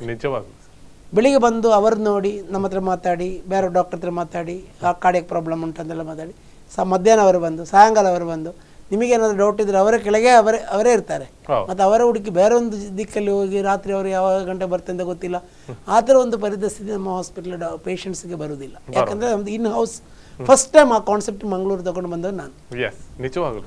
ಎರಡನೇದು ಈ ಕಾರ್ಪೊರೇಟ್ ಹಾಸ್ಪಿಟ್ಲ್ ಯಾಕೆಂದರೆ ಎಲ್ಲರ ತಲೆಯಲ್ಲಿ ಕಾರ್ಪೊರೇಟ್ ಹಾಸ್ಪಿಟ್ಲ್ ಅಂದರೆ ಭಾಳ ಕಾಸ್ಟ್ಲಿ ಅದು ಸಾಧಾರಣ ಜನರಿಗೆ ಹೋಗಕ್ಕಾಗೋದಿಲ್ಲ. ಅದಲ್ಲ ಆ್ಯಕ್ಚುಲಿ ಅದಲ್ಲ. ಯಾಕೆ ಕಾರ್ಪೊರೇಟ್ ಹಾಸ್ಪಿಟಲ್ ಅಂದರೆ ನಿಮಗೆ ಕ್ವಾಲಿಟಿ ಬೇಕು. ನಿಜವಾಗ್ಲೂ. ಮತ್ತೊಂದು ಅಕೌಂಟಬಿಲಿಟಿ ಬೇಕು. ಈಗ ಒಬ್ಬರು ಪೇಷಂಟ್ ಬಂದು ಆ ಪೇ ಪೇಷಂಟ್ಸ್ಗೆ ಏನು ಗೊತ್ತಿರೋದಿಲ್ಲಲ್ಲ? ಪೇಷಂಟ್ ಏನೋ ಒಂದು ಆಟೋ ನೋವಾಗಿ ಬಂದು ಅವ್ರ ಡಾಕ್ಟರ್ಸ್ ಒಬ್ಬರನ್ನೇನೋ ಹೇಳಿದೆ ಮತ್ತು ಟ್ರೀಟ್ಮೆಂಟ್ ಎಲ್ಲ ಆಯಿತು ನೆಕ್ಸ್ಟ್ ಡೇ ಪೇಷಂಟ್ ಸರಿಯಾಗಿದೆ ಅಥವಾ ಡೆತ್ ಆಗಿದೆ. ಅದಲ್ಲ ಕ್ವಾಲಿಟಿ ಇದ್ದರೆ ಎಲ್ಲದಕ್ಕೆ ಅಕೌಂಟಬಿಲಿಟಿ ಯಾರು ನೋಡಿದದು ಫಸ್ಟ್ ಡಯಾಗ್ನೋಸ್ ಏನು? ಏನೇನು ಟೆಸ್ಟ್ ಮಾಡಿದೆ ಮತ್ತೆ? ಮತ್ತೆ ಸೆಕೆಂಡ್ ಲೆವೆಲಲ್ಲಿ ಯಾರು ಯಾರು ಡಾಕ್ಟರ್ಸ್ ನೋಡಿದೆ? ಅವ್ರದ್ದು ಡಯಾಗ್ನೋಸ್ ಏನು? ಥರ್ಡ್ ಯಾಕೆ ಪೇಷಂಟ್ ಡೆತ್ ಆಯಿತು? ಡೆತ್ ಆದಮೇಲೆ ಇವರೇನಾದರೂ ಸರಿ ಆದರೆ, ಅಥವಾ ಡೆತ್ ಆದರೆ ಅದಕ್ಕೆಲ್ಲ ಡಾಕ್ಯುಮೆಂಟ್ ಆಗಿ ಅದಕ್ಕೊಂದು ಡೆತ್ ಮೋರ್ಟಾಲಿಟಿ ಮಾಡಿದೆಯಾ? ಡಾಕ್ಟರ್ಸ್ ಎಲ್ಲ ಡಿಸ್ಕಸ್ ಮಾಡಿದೆಯಾ? ಫ್ಯೂಚರಲ್ಲಿ ಈ ಥರ ಪ್ರಾಬ್ಲಮ್ ಬಂದರೆ ಏನಾದರೂ ನೆಗ್ಲಿಜೆನ್ಸ್ ಬಂದಿದೆಯಾ? ಇದೆಲ್ಲ ಒಂದು ಅಕೌಂಟಬಿಲಿಟಿ ಮಾಡಬೇಕಾದ್ರೆ ಡಾಕ್ಯುಮೆಂಟ್ ಮಾಡಬೇಕು. ಡಾಕ್ಯುಮೆಂಟ್ ಸುಮ್ಮನೆ ನೀವೆಲ್ಲ ಬರೆದು ಬರೆದು ನೀವು ಬರೆದು ಬಿಡಿ ಅಂತ ಹೇಳಿದರೆ ಸ್ಟಾಫು ಬರೆಯುವುದಿಲ್ಲ ಡಾಕ್ಟರ್ಸು ಬರೆಯುವುದಿಲ್ಲ. ಅದಕ್ಕೆ ನಮ್ಮದು ಅಕ್ರೆಡಿಟೇಷನ್ ಬೇಕು. ಅದಕ್ಕೆ ನಾವು ಫಸ್ಟ್ ನಾನು ಹೇಳಿದೆ ಫಸ್ಟ್ ನಮ್ಮದು N A B H accreditation ಬೇಕು. ಎನ್ ಎ ಬಿ ಎಚ್ ಅಂದರೆ ಇಂಡಿಯಾದಲ್ಲಿ ಕ್ವಾಲಿಟಿ ಹಾಸ್ಪಿಟ್ಲಿಗೆ ಅವರೇ ಡೆಲ್ಲಿಯಿಂದ ಬಂದು ನೋಡಿ ಇಷ್ಟರಲ್ಲಿ ಇದ್ದರೆ ಮಾತ್ರ ಅವರು ಕೊಡೋದು. ಅಲ್ಲಿ ಯಾರು ಡಾಕ್ಟರ್ಸ್ ಅವರ ಕ್ವಾಲಿಫಿಕೇಷನ್ ಸ್ಟಾಫ್ ನರ್ಸ್ ಒಂದು ಪೇಷಂಟಿಗೆ ಇಷ್ಟು ಇಷ್ಟು ಪೇಷಂಟಿಗೆ ಇಷ್ಟು ಸ್ಟಾಫ್ ಅಂತ ಉಂಟು. ಅವರು ಕ್ವಾಲಿಫೈಡಾ ಅವರದ್ದು ಅವರೆಲ್ಲ ಇಂಜೆಕ್ಷನ್ ಕೊಡುವವರಿಗೆ ಗೊತ್ತಾ ಅವರಿಗೆ ಮೆಡಿಸಿನ್ ಕೊಡಲಿಕ್ಕೆ ಗೊತ್ತಾ. ಎಮರ್ಜೆನ್ಸಿ ಬಂದರೆ ಮಾಡಲಿಕ್ಕೆಲ್ಲ ಜನ ಉಂಟು ಏನಾದರೂ ನೋಡಲಿಕ್ಕೆ? ಅಡ್ಮಿಟ್ ಮಾಡಿ ಬೇರೆ ಕಡೆ ಹೋದರಲ್ಲಿ ಪೇಷಂಟ್ ಹೇಗೆ ಬರ್ತದೆ? ಅದಕ್ಕೆ ನಾವು ಅಕ್ರೆಡಿಟೇಷನ್ಗೋಸ್ಕರ ನಾವು ಕಾರ್ಪೊರೇಟ್ ಹಾಸ್ಪಿಟಲ್ ಮಾಡಿದ್ದು. ನೆಕ್ಸ್ಟ್ ಲೆವೆಲ್ ಅಕ್ರೆಡಿಟೇಷನ್ ಅಂದರೆ ಮಂಗಳೂರಲ್ಲಿ ಇಲ್ಲ ಅದು. ಈ ಎನ್ ಎ ಬಿ ಎಚ್ ಒಂದೆರಡು ಹಾಸ್ಪಿಟ್ಲಿಗೆ ಇರೋದು ಮಂಗಳೂರಲ್ಲಿ. ಜೆ ಸಿ ಐ ಅಕ್ರೆಡಿಟೇಷನ್ ಅಂತಾರೆ ಇಂಟರ್ನ್ಯಾಷನಲ್ ಅಕ್ರೆಡಿಟೇಷನ್ ಅದು ಜೆ ಸಿ ಐ ಅಕ್ರೆಡಿಟೇಷನ್ ಅಂದರೆ all over the world same standard ಇರ್ತದೆ. ಅಮೆರಿಕಲ್ಲಿ ಹಾಸ್ಪಿಟಲ್ ಹೋದ್ರೆ ಅದೇ ಸ್ಟ್ಯಾಂಡರ್ಡ್ ಇಲ್ಲಿ ಇರಬೇಕು. ಈಗ ಎನ್ ಎ ಬಿ ಎಚ್ ಅಂದರೆ ಇಂಡಿಯಾದಲ್ಲಿ ನೀವು ಡೆಲ್ಲಿ ಹೋದರೆ ಅದೇ ಸ್ಟ್ಯಾಂಡರ್ಡ್ ಇಲ್ಲಿ ಇರಬೇಕು. ಇಲ್ಲಿ ಇರಬೇಕು. ಅದೇನೆ ಅದು ನಾವು ಎನ್ ಎ ಬಿ ಎಚ್ ನಮಗೆ ಎರಡು ವರ್ಷ ಮುಂಚೆ ಸಿಕ್ಕಿದೆ. ಅದಕ್ಕೂ ನಾವು ಒಂದು ಕಾರ್ಪೊರೇಟ್ ಹಾಸ್ಪಿಟಲ್ ಮಾಡಿದೆ. ಎರಡನೇ ವಿಷಯ ಅಂದರೆ ಸಾಧಾರಣ ಕಾರ್ಪೊರೇಟ್ ಹಾಸ್ಪಿಟಲ್ ಯಾರು ಮಾಡೋದು? ಭಾಳ ದುಡ್ಡಿದ್ದವರು ಮಾಡೋದು. ಭಾಳ ರಿಚ್ ನಾವು ನಮ್ಮ ದುಡ್ಡಿದ್ದಾಗ ಮಾಡಿದಲ್ಲ ನಾವೊಂದು ಕಂಪನಿ ಮಾಡಿ ಸ್ವಲ್ಪ ಪ್ರೈವೇಟ್ ಇಕ್ವಿಟಿ ಎಲ್ಲ ರೈಸ್ ಮಾಡಿ ಮಾಡಿದ್ದು. ಅದ್ರಲ್ಲಿ ನಮ್ಮದು ಮೇನ್ ಅಂದರೆ ಎಲ್ಲ ಜನರಿಗೆ ಪಾಪದವರಿಗೆ ಬಡವರಿಗೆ ಗೌರ್ಮೆಂಟ್ ಎಂಪ್ಲಾಯೀಸಿಗೆ ಎಲ್ಲರಿಗೆ ನಾವು ಅದರಲ್ಲಿ ಈ ಕಾರ್ಪೊರೇಟ್ ಹಾಸ್ಪಿಟಲ್ ಫೆಸಿಲಿಟಿ ಎಲ್ಲರಿಗೆ ಕೊಡೋದು ನಮ್ಮದು ಒಂದು ಅದೊಂದು ನಮ್ಮದು ಡ್ರೀಮ್ ಇತ್ತು. ಎಲ್ಲರಿಗೆ ಸಿಗಬೇಕು. ಸುಮ್ಮನೆ ರಿಚ್ ಪೇಷಂಟ್ಸಿಗೆ ಮಾತ್ರ ಕೊಡಲಿಕ್ಕೆ ನಮಗೆ ಇಷ್ಟನೇ ಅಲ್ಲ. ಎಲ್ಲರಿಗೂ ಸಮಾನ ಹಾಗಾದ್ರೆ ನಾವೇ ಡಾಕ್ಟರ್ ಅಲ್ವಾ? ನಮಗೆ ಗೊತ್ತಲ್ಲ. ನಮಗೆ ಬಂದ ಪೇಷಂಟ್ ರಿಚ್ ಪೇಷಂಟ್ ಎಷ್ಟೇ ಇರ್ತಾರೆ? ನಮಗೆ ಒಂದು ಸಂತೋಷ ಆಗಬೇಕಾದ್ರೆ ಅವರಿಗೆ ಟ್ರೀಟ್ಮೆಂಟ್ ತೊಗೊಳಕ್ಕೆ ಆಗೋದಿಲ್ಲ. ಆದ್ರೂ ನಾವು ಅವರಿಗೆ ಹೆಲ್ಪ್ ಮಾಡಿ ಅವರಿಗೆ ಸಿಕ್ಕಿದೆ ಅವ್ರಿಗೆ ವಾಸಿ ಆಗಿದೆ ಅಂದರೆ ನಮಗೆ ಅದೊಂದು ಅದರ ಒಂದು ಅದಕ್ಕೆ ನಾವು. ಬಿ ಪಿ ಎಲ್ ಕಾರ್ಡ್ ನಾವು ತಗೊಳ್ತೀವಿ. ಅಂದರೆ Vajpayee scheme free complete treatment free ಅವರು ಬಂದು ಅದು ಕಾರ್ಡ್ ತೋರಿಸಿದರೆ ಕಂಪ್ಲೀಟ್ ಟ್ರೀಟ್ಮೆಂಟ್ ಅವ್ರು ಅದು ಗೌರ್ಮೆಂಟ್ ರೆಸ್ಟ್ರಿಕ್ಷನ್ ಉಂಟು. ಎಲ್ಲದಕ್ಕೂ ಗೌರ್ಮೆಂಟ್ ಕೊಡೋದಿಲ್ಲ. ಈ ಈ ಸರ್ಜರಿಗೆ ಕೊಡ್ತಾರೆ ಅಂತ ಗೌರ್ಮೆಂಟ್. ಆ ಸರ್ಜರಿಗೆ ಬಂದರೆ ಅವರಿಗೆ ಕಂಪ್ಲೀಟ್ ಫ್ರೀ ಕೆಲವರಿಗೆ ಗೊತ್ತಿರೋದಿಲ್ಲ. ಬಿ ಪಿ ಎಲ್ ಕಾರ್ಡ್ಸ್ಕೊಂಡು ನಮಗೆ ಇದು ಟ್ರೀಟ್ಮೆಂಟ್ ಕೊಡಿದೆ ಎಲ್ಲ ಟ್ರೀಟ್ಮೆಂಟ್ ಗೌರ್ಮೆಂಟ್ ಫ್ರೀ ಇಲ್ಲ. ಫ್ರೀ ಇದ್ದದ್ದು ನಾವು ಕಂಪ್ಲೀಟ್ ಫ್ರೀ ಮಾಡಿ ಕೊಡ್ತೀವಿ. ಜನರಲ್ ವಾರ್ಡಲ್ಲಿ ಹೋಗಿ ಮಲಗಿ ನೀವು ಒಂದು ಪೈಸೆ ಕಟ್ಟೋದು ಬೇಡ. ಟ್ರೀಟ್ಮೆಂಟ್ ತೊಗೊಂಡು ಹೋಗಿ. ಎಲ್ಲರಿಗೆ ಯಾ ಆ ಟ್ರೀಟ್ಮೆಂಟ್ ಯಾರು ಬಂದರೂ ಸಿಗ್ಬೋದು. ಮತ್ತು E S I E S I patient ನಮ್ಮದು ಕಾರ್ಪೊರೇಟ್ ಇ ಎಸ್ ಐ ಅಂತ ಉಂಟು. ಅದು ಹೈಯರ್ ಟ್ರೀಟ್ಮೆಂಟ್ ಕಿಡ್ನಿದು ಹಾರ್ಟ್ದು ಬ್ರೈನ್ದು ಆ ಟ್ರೀಟ್ಮೆಂಟ್ ಎಲ್ಲ ಇ ಎಸ್ ಐ ಬಂದವರಿಗೆ ನಮ್ಮದು ಕಂಪ್ಲೀಟ್ ಫ್ರೀಯಾಗಿ ಸಿಗ್ತದೆ. ಸಿಗುತ್ತೆ. ಮತ್ತು ಯಶಸ್ವಿನಿ ಸ್ಕೀಮ್ ಅಂತ ಉಂಟು. ಸ್ಕೀಮ್ ಸ್ಕೀಮಲ್ಲಿ ಕೂಡ ಕಂಪ್ಲೀಟ್ ಫ್ರೀ ಆಗಿ ಸಿಗ್ತದೆ. ಕೆಲವರಿಗೆ ಎಕ್ಸ್ಟ್ರಾ ಫೆಸಿಲಿಟಿ ಬೇಕಾದ್ರೆ ಅವ್ರಿಗೆ ಎಕ್ಸ್ಟ್ರಾ ದುಡ್ಡು ಕೊಡಬೇಕು. ಕೆಲವರಿಗೆ ರೂಮ್ ಬೇಕು ಎ ಸಿ ರೂಮ್ ಬೇಕು ಡಿಫರೆನ್ಸ್ ಅಮೌಂಟ್ ಪೇ ಮಾಡಬೇಕು. ಅದು ಬಿಟ್ಟರೆ ಎಲ್ಲರಿಗೆ ಬಡವರಿಗೆ ಎಲ್ಲ ಟ್ರೀಟ್ಮೆಂಟ್ ಸಿಗ್ತದೆ. ಮಿಡಿಲ್ ಕ್ಲಾಸ್ ಜನರಿಗೆಲ್ಲ ಸಿಗ್ ಟ್ರೀಟ್ಮೆಂಟ್ ಸಿಗ್ತದೆ. ಹೈ ಎಂಡ್ರಿಗೆ ಒಳ್ಳೆ ಸ್ವೀಟ್ ರೂಮ್ ಉಂಟು. ಆ ಥರ ಟ್ರೀಟ್ಮೆಂಟ್ ಕೂಡ ನಮ್ಮದಲ್ಲಿದೆ ಇದಕ್ಕೆ ಬಿಟ್ಟು ನಮ್ಮದೇ ಒಂದು ಇಂಡಿಯಾನ ಹೆಲ್ತ್ ಕಾರ್ಡ್ ಅಂತ ಇರ್ತದೆ. ಎಲ್ಲರಿಗೆ ಈ ಈ ಕಾರ್ಡ್ ಇರೋ ಅವರಿಗೆ ಪಾಪದವರಿಗೆ ಕೂಡ ಈ ರೇಷನ್ ಕಾರ್ಡ್ ಇರೋದಿಲ್ಲ ಅವರಿಗೆ ಇಂಡಿಯಾನ ಹೆಲ್ತ್ ಕಾರ್ಡ್ ನಾವು ನಾನು ನಾನ್ನೂರು ರೂಪಾಯಿ ಕೊಟ್ಟರೆ ಅವರಿಗೆ ಅದು ಮಾಡಿದರೆ ಒಂದು ವರ್ಷವರೆಗೂ ಮೂವತ್ತು ಸಾವಿರ ರೂಪಾಯಿದು ಅವರದ್ದು ಇನ್ಶೂರೆನ್ಸ್ ಸಿಗ್ತದೆ. ಸಣ್ಣ ಸಣ್ಣ ಕಾಯಿಲೆ ಎಲ್ಲ ಕವರ್ ಆಗ್ತದೆ ಒಂದು ಪೈಸೆ ಕೊಡ್ಬೇಕಂತ ಇಲ್ಲ. ನಾನ್ನೂರು ರೂಪಾಯಿ ನಾನ್ನೂರು ರೂಪಾಯಿ ಕೊಟ್ಟರೆ ಅಲ್ಲೇ ಒಂದು ಎರಡು ದಿನ ಬಿಟ್ಟು ಒ ಪಿಯಲ್ಲಿ ಬಂದು ಏನಾದರೂ test ಮಾಡಲಿಕ್ಕೆಲ್ಲ blood test cholesterol test malaria test ಎಲ್ಲ ಮಾಡುವಾಗ ಅಲ್ಲೇ ಅವರಿಗೆ ಟ್ವೆಂಟಿ ಫೈವ್ ಪರ್ಸೆಂಟ್ ಡಿಸ್ಕೌಂಟ್ ಸಿಗ್ತದೆ ಆವಾಗ ನಾನ್ನೂರು ರೂಪಾಯಿ ವಾಪಸ್ ಬಂತು. ಅವರಿಗೆ ಮೆಡಿಸಿನ್ ಬೇಕಾದರೆ ಅಲ್ಲೇ ಹತ್ತು ಪರ್ಸೆಂಟ್ ಸಿಗ್ತದೆ. ಅದು ನಾನ್ನೂರು ರೂಪಾಯಿಗಿಂತ ಇನ್ನೂರು ರೂಪಾಯಿ ಅಲ್ಲೇ ಸಿಕ್ಕಿದೆ ಮತ್ತು ಒಂದು ವರ್ಷಕ್ಕೆ ಅವರಿಗೆ ಮೂವತ್ತು ಸಾವಿರ ರೂಪಾಯಿ ಇನ್ಶೂರೆನ್ಸ್ ಫ್ರೀ ಗೌರ್ಮೆಂಟ್ ಇನ್ಶೂರೆನ್ಸ್ ಮತ್ತು ಆಕ್ಸಿಡೆಂಟ್ ಆದರೆ ಒಂದೂವರೆ ಲಕ್ಷ ರೂಪಾಯಿ ಫ್ರೀ ಇದು ನಮ್ಮ ಹಾಸ್ಪಿಟಲ್ ಮಾತ್ರ ಇದೊಂದು ಒಂದು ಸ್ಪೆಷಲ್ ಆಗಿ ನಾವು ತಗೊಂಡು ಗೌರ್ಮೆಂಟ್ ಆಫ್ ಇಂಡಿಯಾ ಪ್ರತಿ ತಿಂಗಳು ಕಟ್ಟಲಿಕ್ಕಿದೆಯಾ ಅಥವಾ ನಾನ್ನೂರು ರೂಪಾಯಿ ವರ್ಷಕ್ಕೊಮ್ಮೆ. ವರ್ಷಕ್ಕೊಮ್ಮೆ ಕಟ್ಟಿದ್ರೆ ಇದು ಒಂದು ಸ್ಪೆಷಲ್ ಪರ್ಮಿಷನ್ ತಗೊಂಡು ನಾವು ಗೌರ್ಮೆಂಟ್ ಆಫ್ ಇಂಡಿಯಾ ಅಂತ ತಗೊಂಡು ಬಂದ. ಹೆಲ್ತ್ ಕಾರ್ಡ್ ಇದು. ಇದು ಬಡವರಿಗೆ ತುಂಬಾ ಅಮೂಲ್ಯವಾಗಿ ಟ್ರೀಟ್ ಆಗುತ್ತೆ. ಯಾರಿಗೂ ಗೊತ್ತಿಲ್ಲ. ಯಾರಿಗೂ ಗೊತ್ತಿಲ್ಲ. ಗೊತ್ತಿಲ್ಲ, ನಿಜವಾಗಿ ನೀವು ಹೇಳಿದಾಗಲೇ ನಂಗೂ ಗೊತ್ತಾಯ್ತು ಇಂತ ಒಂದು ಅದು ನಾನ್ನೂರು ರೂಪಾಯಿ ಕೊಡ್ಲಿಕ್ಕೆ ಅಷ್ಟೊಂದು ದೊಡ್ಡ ವಿಷಯ ಅಲ್ಲ. ಅದು ಬೇರೆ ಬೇರೆ ಹಾಸ್ಪಿಟಲಲ್ಲಿ ಕಾರ್ಡ್ ಉಂಟು. ಅದೇನಂದ್ರೆ ಅದು ಇದು ಡಿಫ್ರೆನ್ಸ್ ಉಂಟು. ತುಂಬಾ ಡಿಫ್ರೆನ್ಸ್ ಇರುತ್ತೆ. ಇದು ಅದೇನಂದ್ರೆ ಒಂದು ಅದು ಫ್ರೀ ಟ್ರೀಟ್ಮೆಂಟ್ ಜನರಲ್ ವಾರ್ಡಲ್ಲಿ ಸಿಗಿದ್ದದಲ್ಲ ಇದು ನಿಮಗೆ ನಾರ್ಮಲ್ ಟ್ರೀಟ್ಮೆಂಟ್ ತಗೊಂಡ್ರೆ ನಿಮಗೆ ಇನ್ಶೂರೆನ್ಸ್ ಬರ್ತದೆ. ನಾರ್ಮಲ್ ನೀವು ಒಂದು ಇನ್ಶೂರೆನ್ಸ್ ತಗೊಳ್ಳಿಕ್ಕೆ ನೀವು ಒಂದು ಮೂರು ಸಾವಿರ ರೂಪಾಯಿ ನಾಲ್ಕು ಸಾವಿರ ರೂಪಾಯಿ ಎಲ್ಲ ಕೊಡಬೇಕಾಗುತ್ತದೆ. ತಿಂಗ್ ವರ್ಷಕ್ಕೆ. ಇದು ನೀವು ನಾನ್ನೂರು ರೂಪಾಯಿ ಕೊಟ್ಟು ಅದು ಹಾಸ್ಪಿಟ್ಲಿಂದ ಒ ಪಿ ಡಿಯಿಂದ ಅದು ವಾಪಸ್ ಸಿಕ್ಕುವಾಗ ನೀವು ಫ್ರೀ ಆಗಂತ ಇದು ಇನ್ಶೂರೆನ್ಸ್ ಅಂತ. ಮತ್ತೊಂದು ಈಗ ನೀವು ಹೇಳಿದ್ರಿ ಇಂಡಿಯನ್ ಹಾಸ್ಪಿಟಲ್ನ ಹೆಲ್ತ್ ಕಾರ್ಡ್ ಇದೆ ಮಾಡಬಹುದು ಅಂತ. ಇದಕ್ಕೆ ಏನೆಲ್ಲ ದಾಖಲಾತಿಗಳು ಬೇಕು? ಏನು ಇಂಥದ್ದು ದಾಖಲಾತಿ ಅದೊಂದು ಎಲ್ಲ ಹೇಳಿದ ನಂತರ ಅದು ಮತ್ತೆ ಏನೆಲ್ಲ ಬೇಕಾದೀತು ಅನ್ನುವಂಥದ್ದು ಕೆಲವು ಇರುತ್ತೆ. ಒಂದು ಒಂದು ವರ್ಷಕ್ಕಿಂತ ಏಜ್ ಲೆಸ್ ದೆನ್ ಒನ್ ಇಯರ್ಗೆ ಸಿಕ್ಕುದಿಲ್ಲ ಇನ್ಶೂರೆನ್ಸ್ ಮಾಡಬೇಕು ಸಿಕ್ಸ್ಟಿ ಫೈವ್ ವಯಸ್ಸಿಗಿಂತ ಜಾಸ್ತಿ ಇದ್ದರೆ ಇನ್ಶೂರೆನ್ಸ್ ಸಿಕ್ಕುದಿಲ್ಲ. ಅವ್ರ ಇನ್ಶೂರೆನ್ಸ್ ತಗೊಳ್ಳೋದಿಲ್ಲ ತಗೊಳ್ತಿಲ್ಲ ಬೇರೆ ಯಾವುದು ಬೇಡ ಒಂದು ಐಡೆಂಟಿಟಿ ಕಾರ್ಡ್ ಬೇಕು. ಇಂಡಿಯನ್ ಹಾಸ್ಪಿಟಲ್ ಹೋಗಿ ಅಲ್ಲಿ ಕೌಂಟರ್ ಉಂಟು. ನಾನ್ನೂರು ರೂಪಾಯಿ ಕೊಟ್ಟರೆ ತಗೊಂಡ್ರೆ ಸಾಕು ಬೇರೆ ಏನಿಲ್ಲ. ಅದು ತಗೊಂಡ್ಮೇಲೆ ಅದು ಇನ್ಶೂರೆನ್ಸ್ ಆಕ್ಟಿವ್ ಆಗಲಿಕ್ಕೆ ಎರಡು ತಿಂಗಳು ಬೇಕು. ಇನ್ಶೂರೆನ್ಸ್ ಆಕ್ಟಿವ್ ಆಕ್ಟಿವ್ ಆಗಲಿಕ್ಕೆ. ಆಕ್ಟಿವ್ ಒಂದ್ಸಲ ಆಕ್ಟಿವ್ ಆದರೆ ಒಂದು ವರ್ಷವರೆಗೂ ಅದು ಎಸ್ ಈಗ ನೀವು ಹೇಳಿದ್ರೆ ಒಂದು ವರ್ಷಕ್ಕೆ ಮಾತ್ರ ಅಂತ. ವರ್ಷದ ನಂತರ ಅದರ ಅದು- ಅದು- ರಿಮೈಂಡ್ ನಾವು ಎಸ್ ಎಂ ಎಸ್ ಕಳಿಸ್ತಾ ಇದೆ ಎಲ್ಲರಿಗೆ. ಅವರು ಬಂದು ಮಾಡಬೇಕು. ನಮ್ಮ ದೇಶದಲ್ಲಿ ಏನಾಗುತ್ತೆ ಗೊತ್ತಾ? ಕಾಯಿಲೆ ಬರುವಾಗ ಮಾತ್ರ ಮಾತ್ರ ನೆನಪಾಗತ್ತೆ. ಇಲ್ಲಾದ್ರೆ ನಮಗೆಲ್ಲ ಬೇರೆಯವರಿಗೆ ಎಸ್ ಎಸ್ ಎಸ್ ಎಸ್ ಈಗಾಗಲೇ ನೀವು ಹೇಳಿದ್ರಿ ಟ್ರೀಟ್ಮೆಂಟ್ ಬಡವರಿಗೆ ಕೊಡ್ಬೋದು ಅನ್ನುವಂಥದ್ದು. ಈ ಬಡವರಿಗೆ ಈ ಒಂದು ನೀವು ಹೇಳಿದಂತ ಹೃದಯಕ್ಕೆ ಸಂಬಂಧಿಸಿದಂತ ಹೈ ಅಂಡ್ ರಿಚೆಸ್ಟ್ ಕಾಸ್ಟಿನಂತ ಟ್ರೀಟ್ಮೆಂಟ್ ಇದೆ. ಅದನ್ನು ಕೂಡ ಕೊಡ್ಲಿಕ್ಕೆ ಸಾಧ್ಯತೆ ಇದೆಯಾ? ಇದು ನಾವು ಈ ಬಿ ಪಿ ಎಲ್ ಕಾರ್ಡ್ ಇದ್ದವರಿಗೆ ವಾಸ ಇದ್ದವರಿಗೆ ನಾವು ಡೆಫಿನೆಟ್ ಆಗಿ ಫ್ರೀ ಟ್ರೀಟ್ಮೆಂಟೇ ಕೊಡೋದು. ಅದರಲ್ಲಿ ಡೌಟ್ ಇಲ್ಲ. ಮತ್ತೆ ಎ ಪಿ ಎಲ್ ಕಾರ್ಡ್ ಇದ್ದವರಿಗೆ ಗೌರ್ಮೆಂಟ್ ಈಗ ಫಿಫ್ಟಿ ತೌಸಂಡ್ ಸಿಕ್ಸ್ಟಿ ತೌಸಂಡ್ ಕೊಡ್ತಾರೆ. ಹಾಗಾದ್ರೆ ಅವರಿಗೆ ಫಿಫ್ಟಿ ಪರ್ಸೆಂಟ್ ಅದು ಸಿಕ್ಕಿದೆ. ಮತ್ತೆ ಜೊತೆಗೆ ನಮ್ಮ ಇಂಡಿಯನ್ ಹೆಲ್ತ್ ಕಾರ್ಡ್ ಇದ್ರೆ ಅದಕ್ಕೂ ಮೂವತ್ತು ಸಾವಿರ ಸಿಕ್ಕಿದೆ. Almost fifty percent treatment free ಆಗಿದೆ. ಅದು ನಮ್ಮ ಹಾಸ್ಪಿಟಲ್ ನೋಡಿ ಅವರು ಇದು ಭಯ ಬೇಕಂತ ಇಲ್ಲ. ಬೇರೆ ಹಾಸ್ಪಿಟ್ಲಕ್ಕಿಂತ ಕಮ್ಮಿ ನಮ್ಮ ಹಾಸ್ಪಿಟ್ಲಲ್ಲಿ ಟ್ರೀಟ್ಮೆಂಟ್ ಕೊಡ್ಲಿಕ್ಕೆ ಎಲ್ಲ ವ್ಯವಸ್ಥೆ ನಾವು ಮಾಡಿದ್ದೆ ಅವ್ರು ಬಂದು, ಏನಾದರೂ ಒಂದು ಕಾರ್ಡ್ ಇದ್ದರೆ ಏನಾದರೂ ಏನಿಲ್ಲ ಅಂದರೆ ನಮ್ಮದು ನಮ್ಮ ಇಂಡಿಯಾನ ಕಾರ್ಡಲ್ಲೇ ಹೆಲ್ತ್ ಕಾರ್ಡಲ್ಲೇ ನಾವು ಮಾಡ್ಬೋದು. ವೀಕ್ಷಕರೇ ನೀವು ನೋಡ್ತಾ ಇದ್ರೆ ಎಲ್ರಿಗೂ ಒಂದು ಹೇಳ್ತಾ ಇದ್ದೀನಿ. ಇಂಡಿಯನ್ ಹಾಸ್ಪಿಟಲ್ ಒಂದು ಹೆಲ್ತ್ ಕಾರ್ಡ್ ಮಾಡಿ ನಿಮಗೆ ಬಹಳಷ್ಟು ಬೆನಿಫಿಟ್ ಇದೆ. ಅವರು ಹೇಳಿದಂತ ಮಾಹಿತಿಗಳು ಕೂಡ ಅಥವಾ ನಿಮಗೆ ಬೇಕಾದಂತ ಟ್ರೀಟ್ಮೆಂಟ್ ಕೂಡ ಕೊಡ್ಲಿಕ್ಕೆ ಸಾಧ್ಯತೆ ಇದೆ ಅಂತ ಹೇಳ್ತೇನೆ. ಎಸ್ ಈಗಾಗಲೇ ನೀವು ಹೇಳುವಾಗ ಹೇಳಿದ್ರಿ ಇಂಡಿಯನ್ ಹಾಸ್ಪಿಟಲ್ ವಿಭಿನ್ನತೆಯನ್ನು ಒಂದು ಕಾಯ್ದುಕೊಂಡು ಬಂದಿದೆ ಅನ್ನುವಂಥದ್ದು. ಕೊನೆಯದಾಗಿ ಈ ವಿಭಿನ್ನತೆಗಳು ಏನು ಎಲ್ಲ ಅನ್ನುವಂಥದ್ದನ್ನು ಒಂದು ಒಂದು ವರ್ಡಲ್ಲಿ ಹೇಳಿಕ್ಕೆ ಸಾಧ್ಯತೆ ಇದೆಯಾ? ನಾ Indian hospital most importantly under one roof ಒಂದು ಹಾಸ್ಪಿಟಲಲ್ಲಿ ಎಲ್ಲ ಸೂಪರ್ ಸ್ಪೆಷಾಲಿಟಿಗಳು ಮಲ್ಟಿ ಸ್ಪೆಷಾಲಿಟಿಗಳು ಯಾವುದು ಉಂಟು ಯಾವುದು ಇಲ್ಲ ಅಂತ ಕೇಳಬಾರ್ದು. ಎಲ್ಲ ಒಂದು ಹಾಸ್ಪಿಟಲ್ ಇಂಡಿಯನ್ ಹಾಸ್ಪಿಟಲ್ಗೆ ಬಂದ್ರೆ ಎಲ್ಲ ಎಲ್ಲ ಉಂಟು. ಟ್ರೀಟ್ಮೆಂಟ್ಗೆ ಅದರಲ್ಲಿ. ಮೊದಲು ಎಲ್ಲರ ಇದ್ದಲ್ಲ ಅದು ಹಾರ್ಟ್ ಹಾಸ್ಪಿಟಲ್ ಅಂತ ಇತ್ತು. ಈಗ brain neurology neuro surgery neuro interventional radiology ಮತ್ತು cardiology pediatric cardiology pediatric surgery electrophysiology ಯಾವ ಡಿಪಾರ್ಟ್ಮೆಂಟ್ ಬೇಕು ಎಲ್ಲ department complete under one roof ನಮ್ಮದು ಡ್ರೀಮೇ ಆಗಿತ್ತು.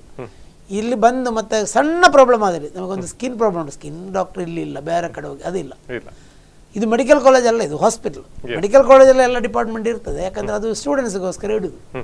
ಅದ್ರಲ್ಲಿ ನಿಮಗೆ ಫುಲ್ ಕ್ವಾಲಿಟೀಸ್ ಸಿಗ್ಬಹುದು ಮತ್ತೆ ಇರಬಹುದು ಹೇಳಲಿಕ್ಕೆ ಆಗುದಿಲ್ಲ ಅದು ಅವರವರ ಮತ್ತೆ ಮತ್ತು ಇದಾಗಲ್ಲ ಇದು ಪ್ರೈವೇಟ್ ಹಾಸ್ಪಿಟ್ಲಲ್ಲಿ ಒಂದು ಅಂಡರ್ ಒನ್ ರೂಫ್ ಯಾವ ಹಾಸ್ಪಿಟಲ್ ಮಂಗಳೂರಲ್ಲಿ ಈ ಥರ ಇಲ್ಲ. Under one roof full time availability of the consultant ಬೆಳಿಗ್ಗೆ ಒಂಬ, ಒಂಬತ್ತು ಗಂಟೆಯಿಂದ ಸಾಯಂಕಾಲ ಆರು ಗಂಟೆವರೆಗೆ ಅಲ್ಲೇ ನಿಂದು ಬೇರೆ ಕಡೆ ಪ್ರಾಕ್ಟೀಸ್ ಹೋಗ್ಲಿಕ್ಕೆ ಇಲ್ಲ ಡಾಕ್ಟರ್ಸ್ ಅಲ್ಲೇ ಕೂತ್ಕೊಂಡು ಎಲ್ಲ ಡಾಕ್ಟರ್ಸ್ ಅವರೊಂದು ಟೀಮ್ ಆಗಿ ಒಂದು ಭಾಳ ನಮಗೆ ಅದು ರೆಸ್ಪಾನ್ಸ್ ಬಂದಿದೆ ಈಗ ಫೈವ್ ಇಯರ್ಸ್ ಒಳಗೆ ಇಷ್ಟು ಒಳ್ಳೆದಾಗಿದೆ ಹಾಸ್ಪಿಟ್ಲ್ ಅಂದರೆ, ಇಷ್ಟು ಹೆಸರು ಬಂದಿದೆ ಅಂದರೆ ಪ್ರಾಬ್ಲಮ್ ಇಂಥ ಕೇಸ್ ಬೇರೆ ಡಾಕ್ಟರ್ಸ್ ಎಲ್ಲ, ಇದು ಸ್ವಲ್ಪ ಕಾಂಪ್ಲಿಕೇಟೆಡ್ ಕೇಸ್ ಅವರೇ ರೆಫರ್ ಮಾಡ್ತಾರೆ. ಅದು ಇಂಡಿಯಾನಾಗೆ ಹೋಗಿದ್ರೆ ಸರಿ ಆಗ್ತದೆ.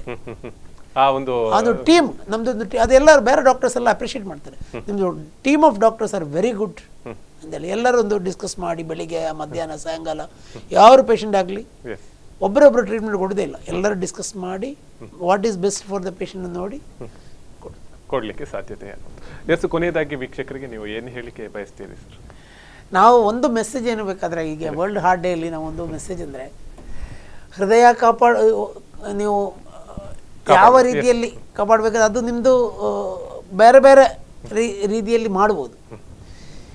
ಏನು ಮಾಡಿದಾರನೋ ಕೊನೆಗೆ ಹಾರ್ಟ್ ಅಟ್ಯಾಕ್ ಬರ್ಬೋದು ಇಲ್ಲದೇ ಇರ್ಬೋದು. ಹಾರ್ಟ್ ಅಟ್ಯಾಕ್ ಬರೋ ಸಮಯದಲ್ಲಿ ನಿಮಗೆ ಕರೆಕ್ಟಾಗಿ ಇನ್ಫಾರ್ಮೇಷನ್ ಗೊತ್ತಿರಬೇಕು. ಹಾರ್ಟ್ ಅಟ್ಯಾಕ್ ಇದ್ದರೆ ಎಮರ್ಜೆನ್ಸಿ ಟ್ರೀಟ್ಮೆಂಟ್ ಯಾವ ಹಾಸ್ಪಿಟ್ಲ್ ನಿಮಗೆ ಫೆಸಿಲಿಟಿ ಉಂಟು ಆ ಹಾಸ್ಪಿಟ್ಲಿಗೆ ಹೋಗಬೇಕು ನೀವು. ಈಗ ನೀವು ಬಾಂಬೆಯಲ್ಲೇ ಇರೋದು ನಮ್ಮ ನಾವು ಮಂಗಳೂರಿಂದ ಬರೋದು ಅಂತ ಹೇಳಿ ಮಂಗಳೂರಿಗೆ ಬರಬಾರ್ದು. ಅಲ್ಲೇ ಒಳ್ಳೆ ಹಾಸ್ಪಿಟ್ಲಲ್ಲಿ ಹೋಗಬೇಕು. ಇಟ್ ಈಸ್ ವೆರಿ ಇಂಪಾರ್ಟೆಂಟ್ ನಮ್ಮ ಮಕ್ಕಳ, ಆ ಟೈಮಲ್ಲಿ ಒಂದು ಪ್ಯಾರೆಂಟ್ಸ್ ಮಕ್ಕ, ಮಕ್ಕಳ ಹತ್ರ ಹೋಗಿ ಅಲ್ಲಿಂದ ಟ್ರೀಟ್ಮೆಂಟ್ ತೊಗೊಳ್ಳೋ ಅನ್ನೋದು ದಟ್ ಈಸ್ ಅ ಮೇನ್ ಒಂದು important message I want to give to the public heart attack ಬಂದರೆ ಡಾಕ್ಟರ್ ಡಯಾಗ್ನೋಸ್ ಮಾಡಿದರೆ ಫೆಸಿಲಿಟಿ ಇದ್ದ ಹಾಸ್ಪಿಟ್ಲ್ ಎಲ್ಲಿ ನೀವು ಇದೆ? ಆ ಹಾಸ್ಪಿಟ್ಲಲ್ಲಿ ಇಮಿಡಿಯೇಟ್ ಆಗಿ ಟ್ರೀಟ್ಮೆಂಟ್ ತೊಗೊಳ್ಬೇಕು. ಅಲ್ಲಿಂದ ಬೇರೆ ಹಾಸ್ಪಿಟ್ಲಿಗೆ ಶಿಫ್ಟ್ ಮಾಡ್ಬೋದು ಹೋಗೋದಕ್ಕೆ ಮುಂಚೆ ನೀವು ಯಾವ ಹಾಸ್ಪಿಟಲ್ ಬೇಕಾದ್ರೆ ಹೋಗ್ಬೋದು. ಹೋಗ್ಬೋದು. ಹೋದ್ಮೇಲೆ ಹಾಸ್ಪಿಟ್ಲ್ ಚೇಂಜ್ ಮಾಡಬಾರ್ದು. ಆದರೆ ನಿಮಗೆ ಹಾರ್ಟ್ ಹಾರ್ಟ್ ಮಸಲ್ಗೆ ಡ್ಯಾಮೇಜ್ ಆಗ್ತದೆ. ಹೋದ್ಮೇಲೆ ಹೋಗೋದಕ್ಕೆ ಮುಂಚೆ ಕರೆಕ್ಟ್ ಹಾಸ್ಪಿಟ್ಲ್ ಹೋಗಿ ಹೋದ ತಕ್ಷಣ ಅಲ್ಲಿದ್ದ ಟ್ರೀಟ್ಮೆಂಟ್ ಕರೆಕ್ಟಾಗಿ ತಗೊಳ್ಳಿ. ತಗೊಳ್ಳಿ. ಎಸ್ ಬಹಳಷ್ಟು ವಿಚಾರಗಳನ್ನು ಇವತ್ತು ನಮ್ಮ ಮುಂದೆ ಹಾಜರಾಗಿ ಮಾತಾಡಿದ್ರಿ. ಬಹಳಷ್ಟು ಇಂಡಿಯನ್ ಹಾಸ್ಪಿಟಲ್ನ ಸ್ಪೆಷಾಲಿಟಿ ಏನು ಅದರ ಒಂದು ವಿಭಿನ್ನತೆ ಏನು ಹೃದಯಕ್ಕೆ ಏನು ಒತ್ತು ಕೊಡಲಾಗಿದೆ ಇಂಡಿಯನ್ ಹಾಸ್ಪಿಟಲ್ ಅನ್ನೋದು ಬಹಳಷ್ಟು ವಿಚಾರಗಳನ್ನು ಹಂಚಿಕೊಂಡ್ರೆ ಕಾರ್ಯಕ್ರಮಕ್ಕೆ ಬಂದದಕ್ಕೆ ಧನ್ಯವಾದಗಳು ಸರ್ ನಮಸ್ಕಾರ. ಎಸ್ ವೀಕ್ಷಕರು ಇದಿಷ್ಟು ಈ ಹೊತ್ತಿನ ವಿಶೇಷ. ನಾಳೆ ಇದೇ ಸಮಯಕ್ಕೆ ಭೇಟಿ ಆಗ್ತೀನಿ ಸುದ್ದಿ ಮಾಹಿತಿ ಮನರಂಜನೆಗೆ ನೋಡ್ತಾ ಇರಿ. ಸ್ಪಂದನ.